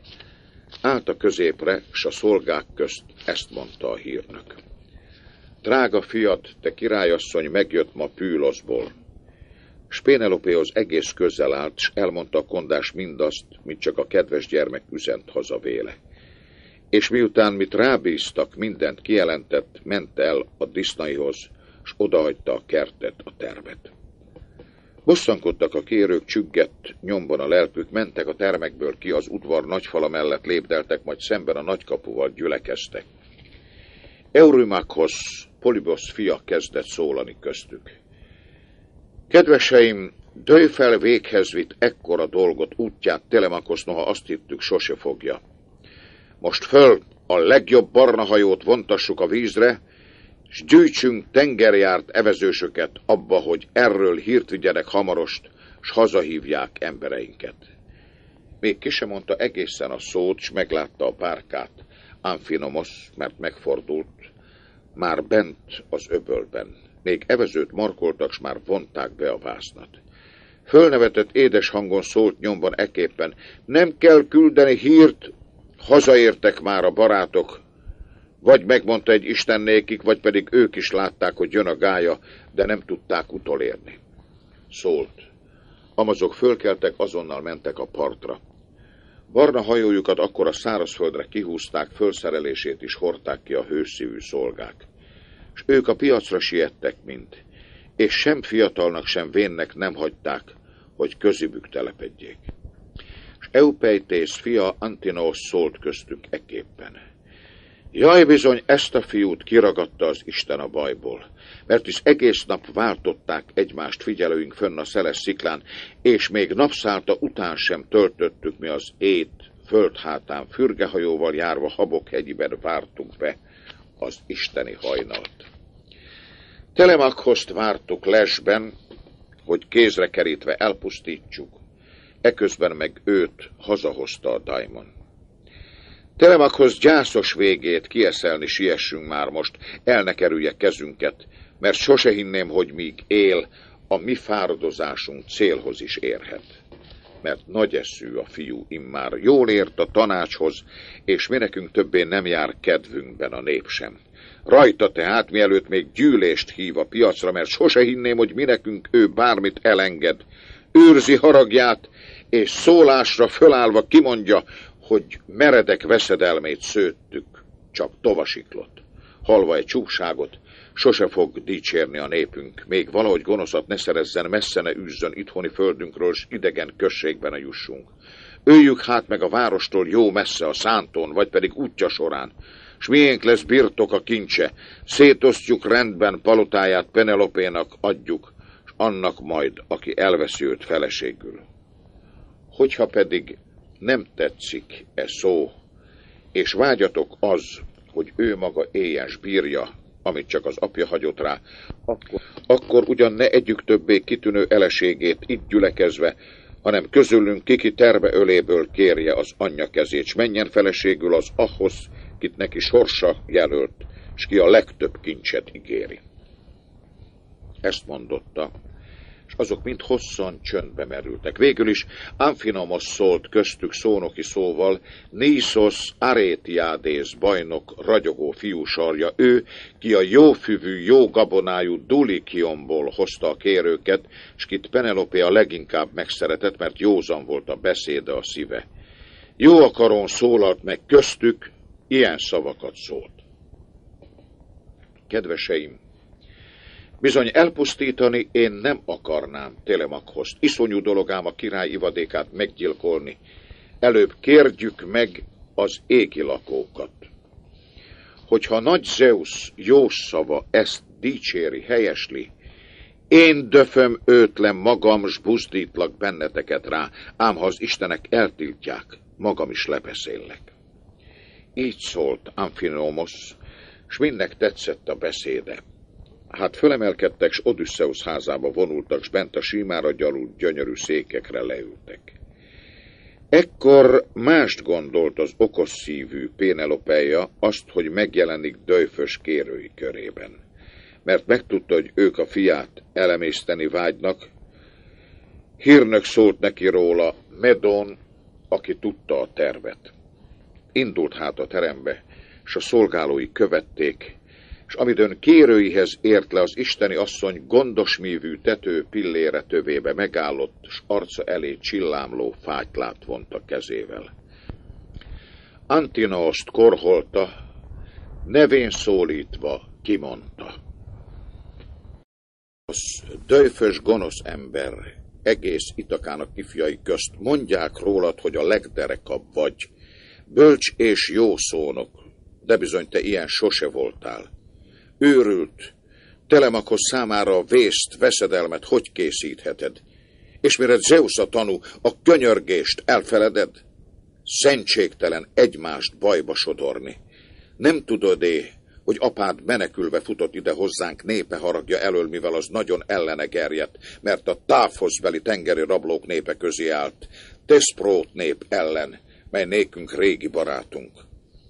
Hát meg akarták ölni apád, kiszakítani szívét, és föl akarták enni virágzó nagy vagyonát is, ám Odysseus féken tartotta a sok dühös embert. S most te csak úgy falodit vagyonát, kéret feleségét, s a fiát megölött szívemet szörnyen szomorítod. Azt mondom, ne tovább, és tiltsd el a többit is ettől. Erre meg Euromakhoz Polybösz fia mondta a választ. Ikários lánysarja, okos szívű Pénelopeja, bátorság, ne legyen szívednek gondja ezekre. Mert olyan ember nincs, de nem is lesz, nem születik meg Telemakoszra fiadra kezét fölemelni ki merné, míg magam itt élek, és a szememmel látok a földön. Mert kijelentem a szót, és bizony így megy teljesedésbe. Nyomban előfröccsen dárdám körül éjszínű vére, mert hiszen engem a városdúló bajnok Odysseus oly sokszor tartott térdén, sült húst a kezembe úgy nyújtott, s a vörösbort ő töltötte a számba. Éppen ezért jobban szeretem mindenki fiánál Telemakhozt, s nem kell a haláltól félnie kérők részéről, noha Isten elől menekülni ki tudna, bátorítón szólt, ám vesztét maga is szövögette. Fölment hát ragyogó termébe az isteni asszony, s drága uráért sírt, Odüsszeuszért, még csak az édes álmot nem borította a szemhéjára Aténé. Este Odüsszeuszhoz, s a fiához az isteni kondás megjött. Ők éppen vacsorát készíteni kezdtek, esztendős disznót áldoztak. Csak hogy Aténé most odállt Laertiádész Odüsszeusz közelébe spálcával megcsapva, öreggé tette meg újra, Csúnya ruhákat adott testére, nehogyha a kondás látja, fölismerje, s vigye jó eszű Pénelopénak. Nyomban a hírt. Nem tudva titokban tartani úgysem. Ekkor a kondáshoz legelőször Telemakhoz szólt. Itt vagy, jó Eumaios. A városban mik a hírek? Leshelyeikről tán hazatértek már ama bátor kérők, vagy pedig ott lesike még jöttömet egyre. Néki te Eumaios kondás így adtad a választ. Erre bizony nem volt gondom kérdezni, kutatni, járva a várost, mert sürgetve kívánta a lelkem, hogy megmondjam a hírt, és hozzád ide visszasiessek. Egy gyors hírnök csatlakozott hozzám Amaz úton, társajdéki anyádhoz először vitte a híred. Más valamit tudok én, tudd, mert láttam szemeimmel. Városon is túl, fönt, hol a Hermész halma magaslik, jártam már, amikor megláttam öbölbe suhanni egy gyors röptű hajót. Volt rajta sok ember, egészen megtöltötték végig a pajzsok, a kéthegyű dárdák. Úgy véltem, hogy azok lesznek, de hogy őke, ki tudja. Telemakhoz pedig elmosolyodván szent erejével apja felé nézett, de kerülte szemével a kondást. Most, hogy a munkát szüntették, és kész volt lakomájuk, lelkük nem maradott híjával a dús lakomának, majd miután elverték végül az éhet a szomjat, akkor az álom ajándékát átvenni ledőltek. 17. ének Telemakhoz hazaérkezése Itakába. És hogy a rózsás ujjú hajnal kért ki a ködből, akkor a szép sarokat ragyogó talpára csatolta Telemakhoz kedves fia isteni hős Odysseusnak. Fogta erős kelevézét, mely markába való volt, város iránt törekedve, s a kondásához ekép szólt. Elmegyek én városba, apó, hogy az édesanyám már láthasson, mert nem hiszem én, hogy szünteti addig gyűröletes kínzó jajait, könnyes zokogását, míg meg nem pillant. Tereát pedig ezt bízom íme, ezt a szegény jövevényt tevezest oda, járja a várost, ételt kolduljon, majd ad neki az, ki akarja, ad kenyeret, skupabort.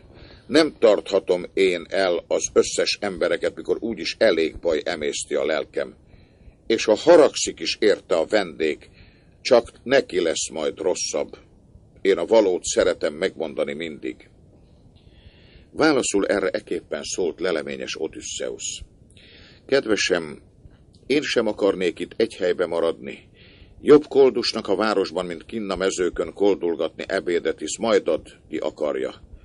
Mert a korom sem olyan, hogy a gazda szavára szaladva erre meg arra tanyán éjek, munkába sürögjek. Menj csak, ez elvezet engem majd oda rendeletedre, már ha a tűznél megmelegettem a napheve is nő, mert a ruháim igen gyatrák, s félek leigázhat engem a hajnali fagy, és mondtátok, messze a város, szólt, és a tanyán át Telemakos sietett ki az útra, lábát szedte, a kérők rossz végét szövögette. És miután jól épült szép palotája elé ért, mennyezetig meredő oszlophoz tette a dárdát, és ő maga ment, és kőküszöbét átlépte a háznak. És odabent legelőször is Eurükleja a dajka látta meg éppen szőnyegeket terített faragott szép székekre, s könnyezve szaladt hozzá. De körébe gyűltek a bölcs Odysseus szolgáló lányai épp így, és szeretettel csókolták a fejét meg a vállát. S hálóterme felül jött jóeszű Pénelopeias, mint arany Afrodité, mint Artemis éppen olyan volt. Könnyeket ejtve karolta körül szeretett fiú sarját, megcsókolta fejét és mindkét szép szemefényét, és zokogó hangon hozzá szárnyas szavakat szólt. Itt vagy, Telemakhoz szemem édes fénye. Bizony nem hittem, hogy látlak, miután te pűloszba hajóztál ellenem és titkon, hogy hírt haj édesapádról. Most azután mindent, mit láttál, sorra sorold el. Erre a jó eszű Telemakhoz neki válaszul így szólt. Csak sose indítsál zokogásra, anyám, s kebelemben meg ne búsítsd a szívem, hisz megmenekültem a bajból. Inkább végy fürdőt, ölts ünnepi tiszta ruhákat, s szolgálóiddal fölső házadba vonulva ígér mindegyik Istennek gyönyörű hekatombát, hogyha segít bosszunkat véghez vinni a nagy Zeus. Én a piacra megyek vendéget hívni mi hozzánk, azt, aki onnan jött velem együtt végig az úton mert a derék társakkal előre eresztve hajómon Pejrájoszt kértem, hogy a háza ölébe fogadja szívesen és becsüléssel, amíg csak nem megyek érte. Így szólt. Spénelopé szava szárnyatlan maradott már. Fürdőt vett azután, s öltvén tiszta ruhákat, ígért mindegyik Istennek gyönyörű hekatombát, hogyha segíti a bosszút véghez vinni, a nagy Zeus. Stélemakhoz kifelé lépdelt, már végig a termer vitte a dárdáját, két fürge kutyája követte. Isteni bájt hintett rá ekkor Pallas Athéné, és az egész nép, míg közibük sietett bámulta. Ekkor a dőfös kérők mind köribé seregeltek, szóltak szép hangon, de szívükben rejtve a rosszat. Televakosz még messze kitért népes tömegüktől, és ott, hol mentor ülcs vele Antifosz és Haliter Szész, kik már apjának hűséges társai voltak, megtelepült maga is, és ők mindent sorra kikértek. És most a dicsődárdás Peirájosz jött közelükbe, hozta a városon át vendégét. Hosszan ugyan már Telemakhoz sem várt, távol tüstént odalépett. És legelőször Peirájosz szólt Telemakhozhoz. Telemakhoz házamba menesz el nőket, azonnal hadd küldjem neked el Menelaos dús adományát. Erre a jó eszű Telemakhoz neki válaszul így szólt. Peirájosz, még nem tudjuk, hogyan üt ki a dolgunk. Hogyha a dőfös kérők engem a termem ölében titkon emésztenek el, vagyonom szétosztva maguk közt élvezt kincseimet te magad, ne ezek közül egyik. Hogyha meg én leszek az, ki ölök végzek velük, akkor nékem a kedvre derültnek hozt haza, kedvre derültem. Szólt, s a sokat próbált idegent bevezette lakába és miután odaértek a jól épült palotához, bent köpenyük székekre, skarszékekre vetették, szépre csiszolt kádakba beléptek, megmosakodtak. Szolgálók mosták őket, skenték meg olajjal, gyapjú köpenyt és inget is adtak rájuk utána, s ők léptek ki a kádból, a trónszékekre leültek. Hozta a szolgaleánya vizet, s öntötte kezükre szép színarany kancsót az ezüst tálkába ürítve, hogy kezüket mossák, s a gyalult asztalt odatolta majd meg a tisztes gazdasszony közipük kenyeret vitt, és sok jó eledelcs, ami volt, osztotta örömmel. S Pénelopé odaült most szembe az oszlop elébe, s széktáblának dőlve az orsón szép fonalat font. S kirakott kész étkek után kezüket kivetették, majd miután elverték végül az éhet a szomjat, akkor okosszívű Pénelopeja fogott a beszédbe. Telemakhoz bizony én fölső termembe vonulva újra lefekszem az ágyra, melyet síralomra faragtak, ázik folytom a könnyemtől, amióta Odysseus Atreidákkal Trója alá ment. Mert mielőtt még jönnek a döjfös kérők, nem mer szólni se nékem nyíltan, hallottál-e apádról, még hazatére? Erre a jó eszű Telemakosz neki válaszul így szólt. Elmondom neked, édesanyám, mi a tiszta igazság. Népek pásztora Nestorhoz mentünk mi Pűloszba, nagy tetejű palotája ölén szíves szeretettel, mint apa szokta fogadni fiát, ha betoppan a házba, drága fiút, aki már sok időt töltött idegenben, így fogadott Nestor, s vele sok daliás fia engem. Ám de a tűrőlelkű Odysseusról, vajon éle vagy meghalt, soha nem hallott még senki fiától. És így a dicsődárdás Menelaushoz paripákkal s jólácsolt szekereken küldött el az Atreidészhoz, s láttam az argoszi szép Helénét, akiért verekedtek isteni szóra, sokáig a trója és argoszi küzdők. Megkérdezte a harcban erős hangú Menelaos, rögtön miért igyekeztem az isteni spártai földre, és én neki őszintén mindent elmondtam egészen. Ő pedig akkor nékem a választ adva ekép szólt. Jaj, bizony így igazán bátor szívű férfiú ágyát óhajtják heverőhelyül ők, akik annyira gyávák. Mint amilyen az erős nagyoroszlán bérci tanyáján hagyja szopós kicsi borjait, és tovaszökken a szarvas, erdős hegyhátakra, füves völgyekben legelni, az pedig egyszer csak hazatér, meglátja az ágyát, és mindkettőnek a csúfos véget hozza magával, nékik a csúf véget majd épp így hozza Odysseus. Bár csak Zeus atya, Pallas Athéné meg Apollon lenne olyan, mint volt jól épült Lesboszon egykor, hogy Filoméleidésszel kélt vetekedni birokra, s földre vetettek keményen. Örültek az összes akhályok. Hát kérők közibé, ha ekképp keveredne Odysseus, mind gyors végzetű lenne, keserves nászú azonnal. Most, amit én tőlem kérdez könyörögve, a kérdést nem kerülöm ki, nem is kívánlak félrevezetni. Mit nekem elmondott a vizeknek igazszavú véne, abból szót sem hallgatok el, sose rejtem előled. Mondta, hogy egy szigeten, s iszonyú kínokba merülten látta Kalipsző nimfa lakában. A nimfa erővel ott tartja, s nem tud hazaérni az otthoni földre. Mert hisz nincs neki jó evezős bárkája, se társa, hogy hazajuttatnák a vizetnek tágterű hátán. Így szólt Atreides, a dicső dárdás Menelaus. Ezt elvégezvén hazatértem, az Istenek adtak jó szelet, és szeretett földemre hamar röpítettek. Így szólt. És anyja szívét kebelében fölzaklatta. És isteni képű Teoklimenos kezdett a beszédbe. Hős Laertiádész Odysseus tisztes felesége. Ezt Menelaus nem jól tudja. Figyelj a szavamra, mert hisz a színigazat jóslom, sose rejtem előled. Tudja tehát meg Zeus legelőbb, meg a vendégasztal, s tűzhelye hős Odysseusnak, amelyhez most ideértem, hogy bizony itt van már Odysseus ma az otthona földjén, ül vagy oshon, s tudakolja-e sok rossz tettet a házban, és minden kérő számára a vészt veti el már. Így madarat láttam, mikor ültem a jópadú gáján, s Telemakosznak már akkor felzengtem a jó szót. Erre eképpen szólt az okos szívű Pénelopeja. Jó idegen, bár menne-e szózat teljesedésbe, tüstént megtudnád, mint kedvellek. Sok ajándék jutna neked, s boldognak mondana mind, aki meglát. Ők egymáshoz ilyen szavakat hallatva beszéltek.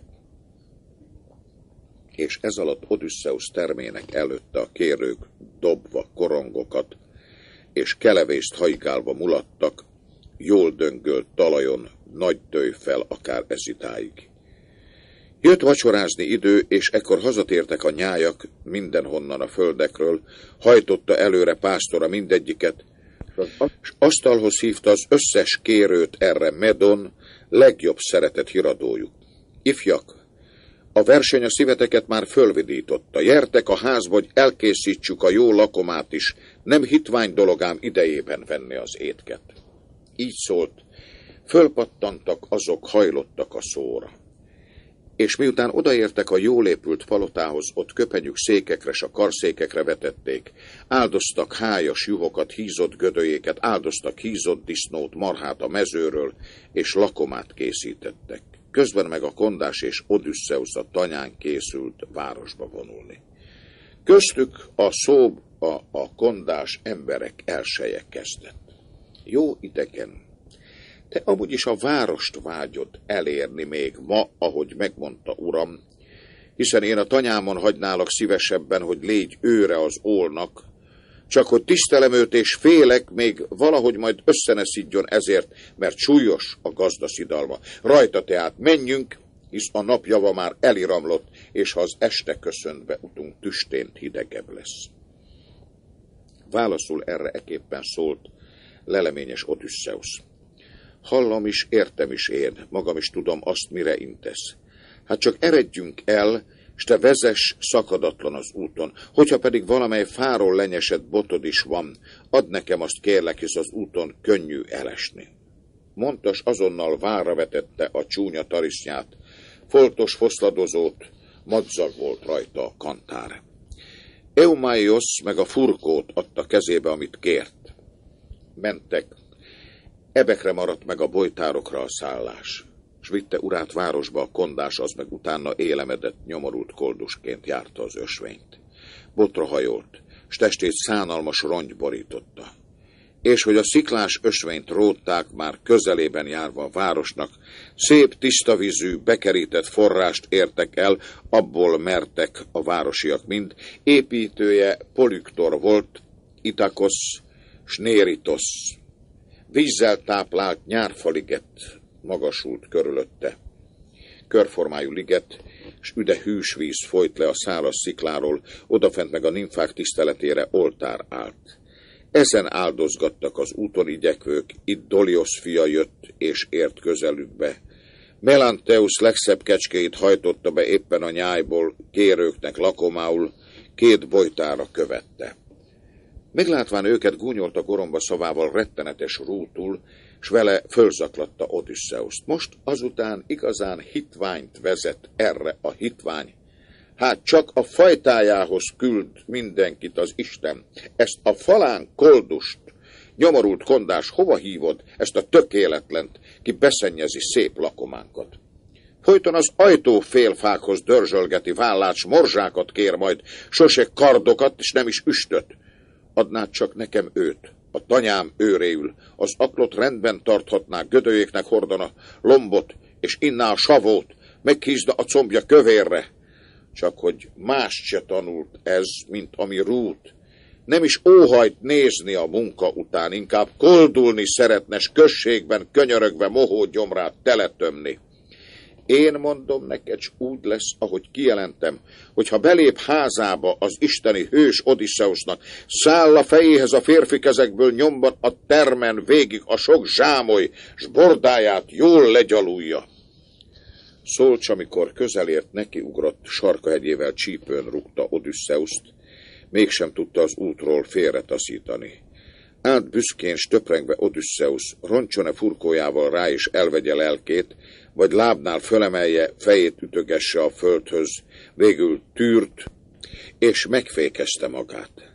De a kondás szitta a másikat, és a kezét fölemelve esengett. Forrás nimfák, Zeus lánysarjai, hogyha Odysseus nektek már juhok és gödöjék combját sütögette, hájba takarva, vigyétek-e vágyam teljesedésbe, jöjjön már haza ő, ide vissza vezesse a daimon, ezt a gonosz döjföt szétszórná ő, de azonnal, mit hegykén hordasz, folyton csak járva a várost, s lám a mezőn sok rossz pásztor teszi tönkre a nyájat. Néki a kecskék pásztora így szólt erre Melanteus. Jaj, mit nem, jaj, mit nem fecseg itt a ravasz kutya. Ő, itt amúgy is jó evezőpadú barna hajón én még Itakából messze viszek, s eladok, hogy jól élhessek az árán. Bár csak Telemakhoz az ezüst ijú nagy Apollon még ma nyilazná úgy le, vagy úgy ölnék meg a kérők, mint ahogyan sose fog többé hazatérni Odysseus. Így szólt és hagyta a lassan bandukolókat, útnak eredt, el is ért sebesen gazdája lakába. Nyomban beljebb ment, kérők közt ült le a házban. Eurymakosszal szemben emeszt kedvelte leginkább. Tettek a felszolgálók részt odanéki húsból, majd meg a tisztes gazdasszony neki is kenyeret vitt, hogy lakomázzék. És Odüsszeusz meg az isteni kondás később ért oda, és a közelbe megállt, a fülükbe ért a kivájt lant hangja, mivel már húrba kapott volt Fémiosz. Ő meg szólt, míg kézen fogta a kondást. Eumaios, bizonyos, hogy Odysseus szép palotája itt ez a ház, hisz a sok közt is könnyű kitalálni. Terme teremből tárul az udvara körbe kerítve, párkányjal, fallal, Remekül záró kapujának kettős szárnya van, egy könnyen sose szólja le senki. És azt is veszem észre, sokan falatoznak a házban, épp most, mert pecsenyék szaga száll, s hallom a lant is pendül, mit lakomához társul az Istenek adtak. Erre te, Eumáios kondás, így adtad a választ. Könnyen rájöttél, hisz amúgy se vagy oktalan ember. Rajta azonban gondoljuk meg, mit cselekedjünk. Vagy te magad menj most be a kényelmes palotába lépj kérők közibé, míg én magam itt maradok kint, vagy ha kívánod, várj, s magam én lépek be előtte, csak ne időz idekint hosszan, mert még aki meglát, megdob, vagy meg is üt. Kérlek, gondold meg a dolgot. Erre eképpen szólt a sokat tűrt isteni férfi. Hallom is, értem is én. Magam is tudom azt, mire intesz. Menj csak előre a házba, magam pedig itt maradok kint, és számomra nem újság már a dobás meg az ütleg, mert edzett a szívem, hiszen oly sok bajba bolyongtam tengeren és harcban, hát jöjjön ez is tetejébe. Sóvár gyomrunkat sose tudjuk rejteni úgysem, azt a veszettet, mely sok bajba sodorja az embert, mert ő érte szerelnek föl sok erős padú gáját, störnek a meddő tengeren át ellenfeleikre. Ők egymással ilyen szavakat hallatva beszéltek, s fölpillantva hegyezte fülét az amot heverő Eb Argos, amely Odüsszeuszé volt, gazdája nevelte egykoron, ám nem örült neki ő maga, mert hamarabb ment Szent Trójába. S az ifjak szokták vinni magukkal űzni a vadkecskét, a nyulat meg az őzet az erdőn, most pedig ott nyúlt el, ki se gondolt rá, a gazda elment kertajtó mellett, összvérnek, ökörnek bőtrágyájában, mit mind odahortak Odüsszeusz szolgalegényei, hogy téres mezejét trágyázzák. Argos az ebb, hát tetvekkel tele nyúlt el a földön. És most meglátva, hogy ott van az ő közelében Odüsszeusz farkcsóválva tekintett rása fülét lekonyítva, arra azonban, hogy közelebb csúszhasson urához nem volt benne erő, könnyét morzsolta Odüsszeusz, könnyen játszva ki Eumaiost, és kérdezte szavával. Eumaios, különös, hogy ez ebb hever itten a trágyán. Szép az alakja, hiszen noha azt még nem tudom, épp így gyorsan futni tudott-e, ami gyönyörű az alakja, vagy pedig úgy tartották csak, mint szoktak az asztal mellett tartani némely ebet, dicsekedni a gazdák. Erre te Eumaios kondás így adtad a választ. Jaj, nagyon is távol pusztult, ura, Látszik az ebnek. Volna olyan csak most is még mozgása alakja, mint Trójába menet, mikor itthon hagyta Odüsszeusz. Megbámulhatnád erejét és fürgefutását. Erdei vad soha nem menekült meg a sűrű bozótba. Tőle, ha űzte. Nyomát értőn szimatolta ki mindig. Most meg gyötri a kór. Gazdája a távoli földön elpusztult, s vele nem gondolnak a lomhadselédek, mert is a szolgák, hogyha uruk ki nem adja parancsát, már nem akarnak semmit rendesen elvégezni, mert derekasságát félig már elveszi úgyis Zeus annak nyomban, kire rácsap szolgai napja. Szólt, és már lépett is be a kényelmes palotába, ment a nemes kérők seregéhez a termeken által. Míg Argoszra halál észszínű sorsa csapott le. Rögtön, amint húsz év múltán meglátta Odysseuszt. Isteni Telemakosz legelőször látta belépni Eumaiost, intet neki rögtön hívta magához. Az félénken szétnézett, fölemelte a zsámolyt, melyen a húsosztó ült mindig, hogyha tömérdek hús szeletelt a terem mélyén mulató daliáknak, ezt fölemeltes az asztal mellé Telemakosszal szembe letette, leült rá. Ekkor elébe a hírnök húsdarabot, és a kosárkából kiemelt kenyeret tett. Rögtön utána a hős Odüsszeusz lépett be a házba, mint valamely nyomorult vén koldus botrahajolva lépegetett, s testét szánalmas rongy borította.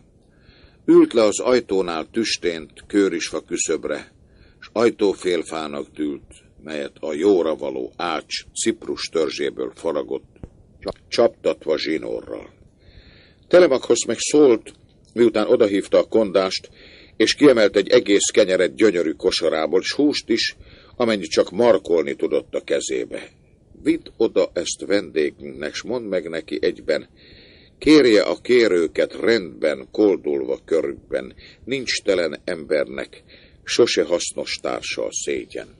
Szolcs miután hallotta a szót, már ment is a kondás, és Odüsszeusz közelébe megállt, szárnyas szavakat szólt. Gazdám küldi-e húst idegen, és azt rendeli néked, kérjed a kérőket rendben, koldulva körükben, mert biz a koldusnak sose hasznos társa a szégyen. Válaszul erre eképpen szólt leleményes Odüsszeusz. Zeus atya, Télemakoszt áldjad meg a földi lakók közt, s tedd neki meg mindazt, mire csak vágyódik az ember. Szólt, s két kézzel az étkeket átvévén odatette csúnya tarisznyájára a lába elé, a földre. És még a teremben a dalnok zengett, ő lakomázott s hogy kész lett, befejezte a dalt is az isteni dalnok. és zsivajogtak a házban a kérők, csak hogy Aténé most közelébe megállt Laertides Odysseusnak, s küldte a kérők közt könyörögjön sorba kenyérért, hogy megtudja ki jóra való közülük skidurva. Így sem védte meg egyiküket sem a csúnya haláltól. És ment Odysseus minden kérőhöz jobbra haladvas, mint aki már rég koldus, aként nyújtotta a karját. Megszánták, és adtak neki inni, de közben csodálták, s egymást kérdezték, ki ez itt? Honnan jön a házba? Erre Melantios így szólt kecskék pásztora nyomban. Büszke királynő sok kérője. Figyelj a szavamra, én bizony ezt a silány idegent már láttam előbb is, mert hisz a kondás volt, aki erre vezette az útos. Nem tudom, ő maga honnan ered, mit volt dicsekedve. Szólt, mire Antinós gúnyolta szavával a kondást. Hej, híres kondás, minek is hoztad közibénk ezt? Tám biz a városban nem akad csúfképű csavargó, éppen elég ocsmány koldus, lakomák csúfítója. Folytonosan zsémbelsz, hogy urad vagyonát fölemésztik, mert ide gyűlnek a vendégek, és most ezt ide hívod. Erre te, Eumáiosz kondás, így adtad a választ. Antinos, te derék vagy, s mégsem szép a beszédet. Mert idegent vendégül hívna-e bárki a házhoz, hogyha olyat nem lelhet föl, ki a közre hoz áldást. Mert a jövendőt mondja, a kort gyógyítja, vagy épít, vagy pedig isteni dalnok a dalt gyönyörünkre kizengi. Lám ezeket hívják meg szélese földön a népek. Koldust senki se hív, hogy tönkre egyék nem akarja. Ám te, Odysseus háznépével a legdurvább vagy minden kérő közt, s a leginkább én velem.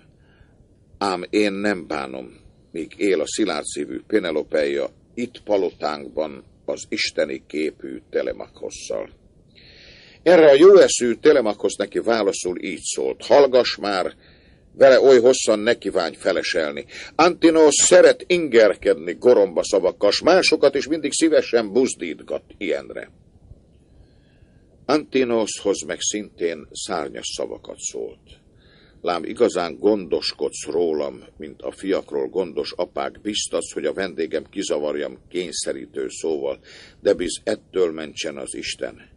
Inkább fogd és adj, nem irigylem, kérlek is erre. Édesanyám, vagy tán valamely szolgája előtt ezt isteni hős Odysseus házában csak sose restelt. Ám de neked soha nincs így gondolatot kepeletben, inkább fölfalnál mindent, mint másnak is adnál.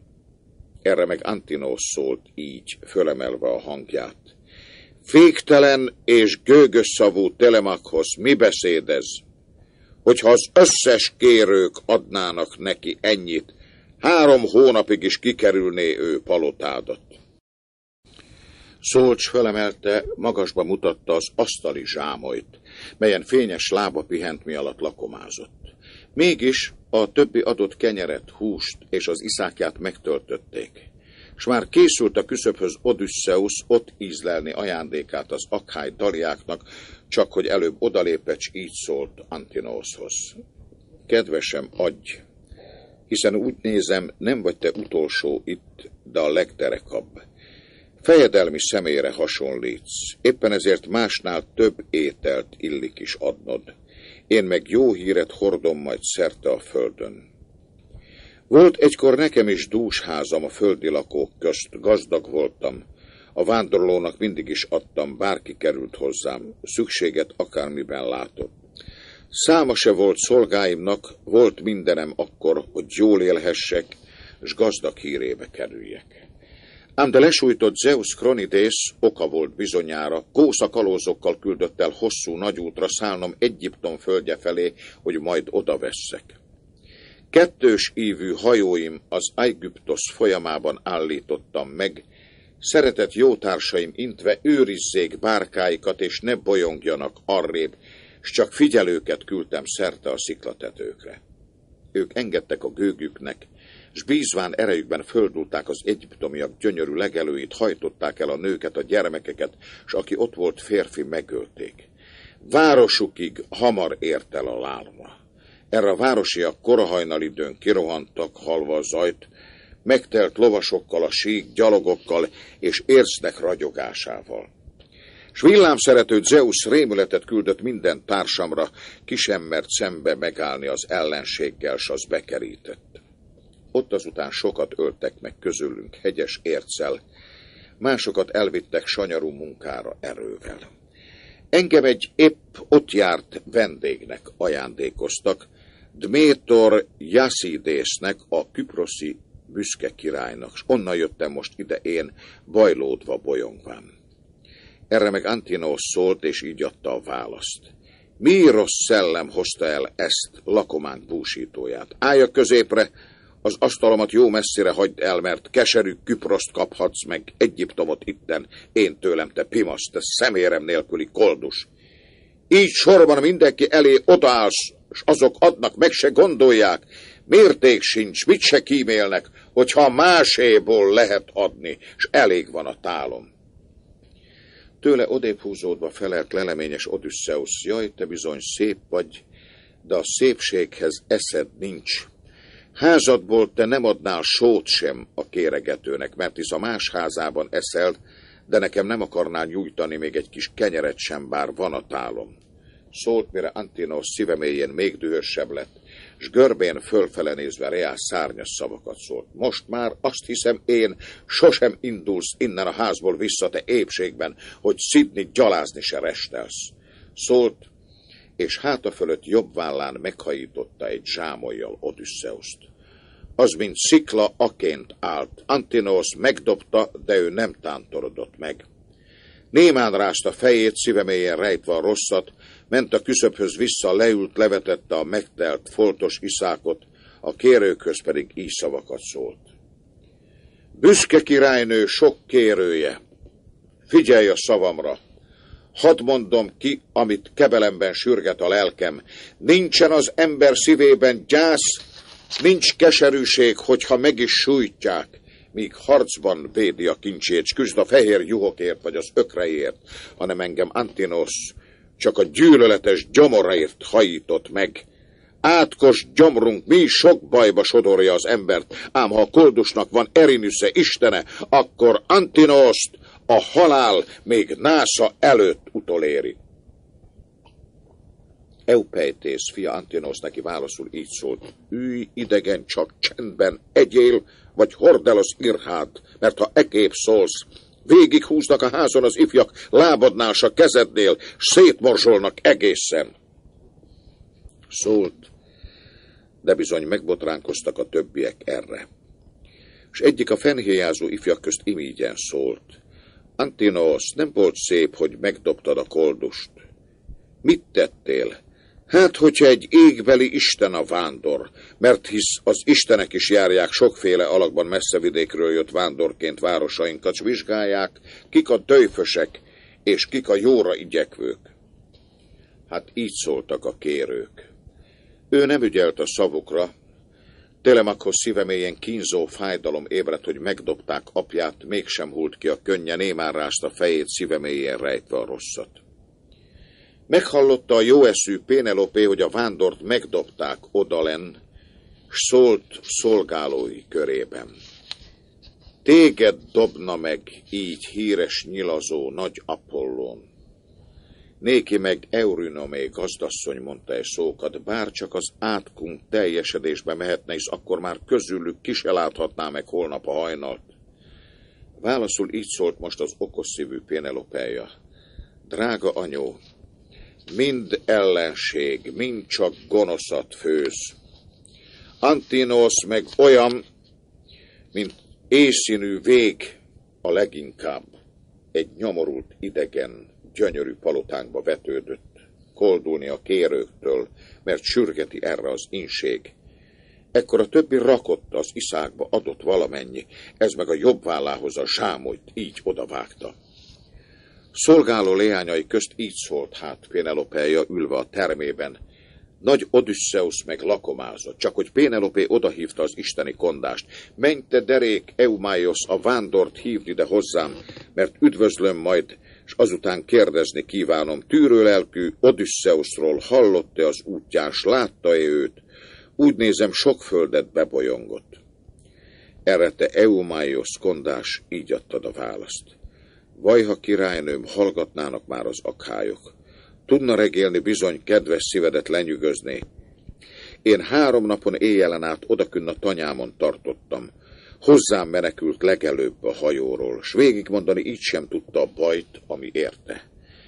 Mint ahogyan figyelünk a dalosra, ki isteni kegytől áldva tud embereket vágykeltő dallal igézni, s bármikor énekel is, folyton hallgatni kívánjuk, így bűvölt el ez engem, amíg a tanyámon időzött. Azt állítja, hogy ő Odüsszeusznak régi barátja, s hol Mínosz neme él, Krétában lakja lakását, most pedig onnan jött földünkre bolyongva bajok közt, sányódván a vizen, s állítja, hogy ő Odüsszeuszról hallott. Azt, hogy a Teszprótok dús városa földjén itt közel él, sok kincset hoz haza háza ölébe. Válaszul így szólt most az okos szívű Pénelopeja. Menj oda, hívd ide őt. Maga mondja ki nékem, amit tud. És amazok csak hadd mulatozzanak ott a kapuknál, s szerte a házban akármi után örvendhet a lelkük. Mert hiszen az ő vagyonuk sértetlen az otthoniakban, búza meg édesbor, és ezt élvezik otthon a szolgák, s ők a mi házunkban kibejárnak minden időben, ökröket áldoznak, juhokat, hízott gödöjéket, és itt lakomáznak, a lángszínű bort isszák, pazarolják, pusztul jószág mert már oly férfiú nincs itt, mint Odüsszeusz volt, hogy tőlünk tova űzze a romlást. Hogyha Odüsszeusz megjönne, s hazaérne honába, rajtuk erőszakukért a fiával bosszút is állna. Erre nagyot tüsszentett Tilemakhoz, s az egész ház szörnyen visszhangzott. Nevetett rá Pénelopeia, s Eumáioshoz azonnal így szárgyas szavakat szólt. Menj oda! Menj oda hát, s a szegény idegent hívd már ide hozzám. Nem látod, hogy tüsszentett a fiam szavaimra? Kérőim romlása se lesz hát teljesületlen, egy sem tudja a vészt, s a halált közülük kikerülni. Más mondok neked én, te pedig vesd jól a szívedbe. Majd, ha igaznak látom mindazt, mit nekem elmond, néki köpenyt adok én, s vele inget, drága ruhákat. Szólcs, miután hallotta a szót, már ment is a kondás, és Odüsszeusz közelébe megállt, szárnyas szavakat szólt. Vándor apám, hív téged okos szívű Pénelopeja, Telemakhoz jó anyja, mivel kívánja a lelke, hogy valamit tudakoljon uráról, bár szíve szenved. És ha beszédedet őszintének fogja találni, ad neked inget jó köpenyeggel, amikre leginkább van szükséged. Az ennivalót körben könyörögve másoktól is megkapod, és teletöltöd a gyomrod. Így szólt most hozzá sokat tűrt fényes Odüsszeusz. Eumaios, neki színigazat szólnék szavaimmal Ikarios lányának okosszívű Pénelopénak. Ismerem én férjet, hiszen együtt hordtuk a bútbajt, csak hogy félek a sok kérő haragos seregétől, kiknek szörnyű döjfe az érc égboltig is elhad. Hisz most is, mikor engem, amint idejöttem a házba, megbántott ez a férfi, pedig gonoszat sose tettem. Télemakhoz sem védett meg, sem más a teremben. Pénelopénak azért mond meg, hogy várjon, akárhogy sürgeti szíve, a termében még napnyugovásig. Akkor kérdezgessen urának jötte felől majd, tűz közelébe leültetvén, mert hát a ruháim hitványok. De tudod, hisz hozzád jöttem először. Szólt, és miután hallotta a szót, indult is a kondás, és még a küszöbre került, csak már szólt Pénelopeja. Nem hozod őt, Eumáiosz? Hát mit gondol a vándor? Tán valamely méltatlanságtól fél, vagy a házban szégyel időzni, pedig nem jó, ha szemérmes a koldus. Erre te, Eumáiosz kondás, így adtad a választ. Úgy szólt ő, ahogyan kellett, más is csak eképpen gondolkozna, a dőfösöket kikerülve a házban. Téged azonban kér, hogy várj rá napnyugovásig, és úrnőm, neked is sokkal jobb így, ha a vendég csak maga hallja szavad, és egyedül figyeled szavait te. Válaszul így szólt most az okos szívű Pénelopeja. Úgy látszik, hogy a vándorló nem is oktalan ember, mert a halandók közt nem akadnak mások a földön, kik nagy gőgjükben még így gonoszat cselekesznek.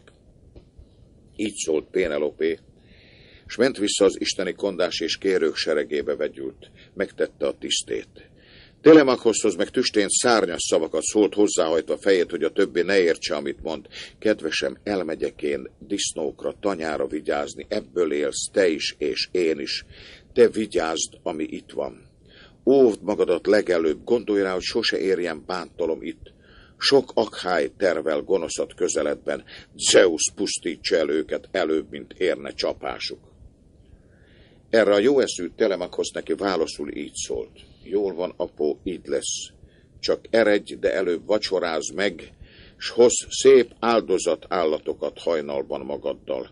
Másra nekem lesz itt gondom meg az égi lakóknak. Szólt.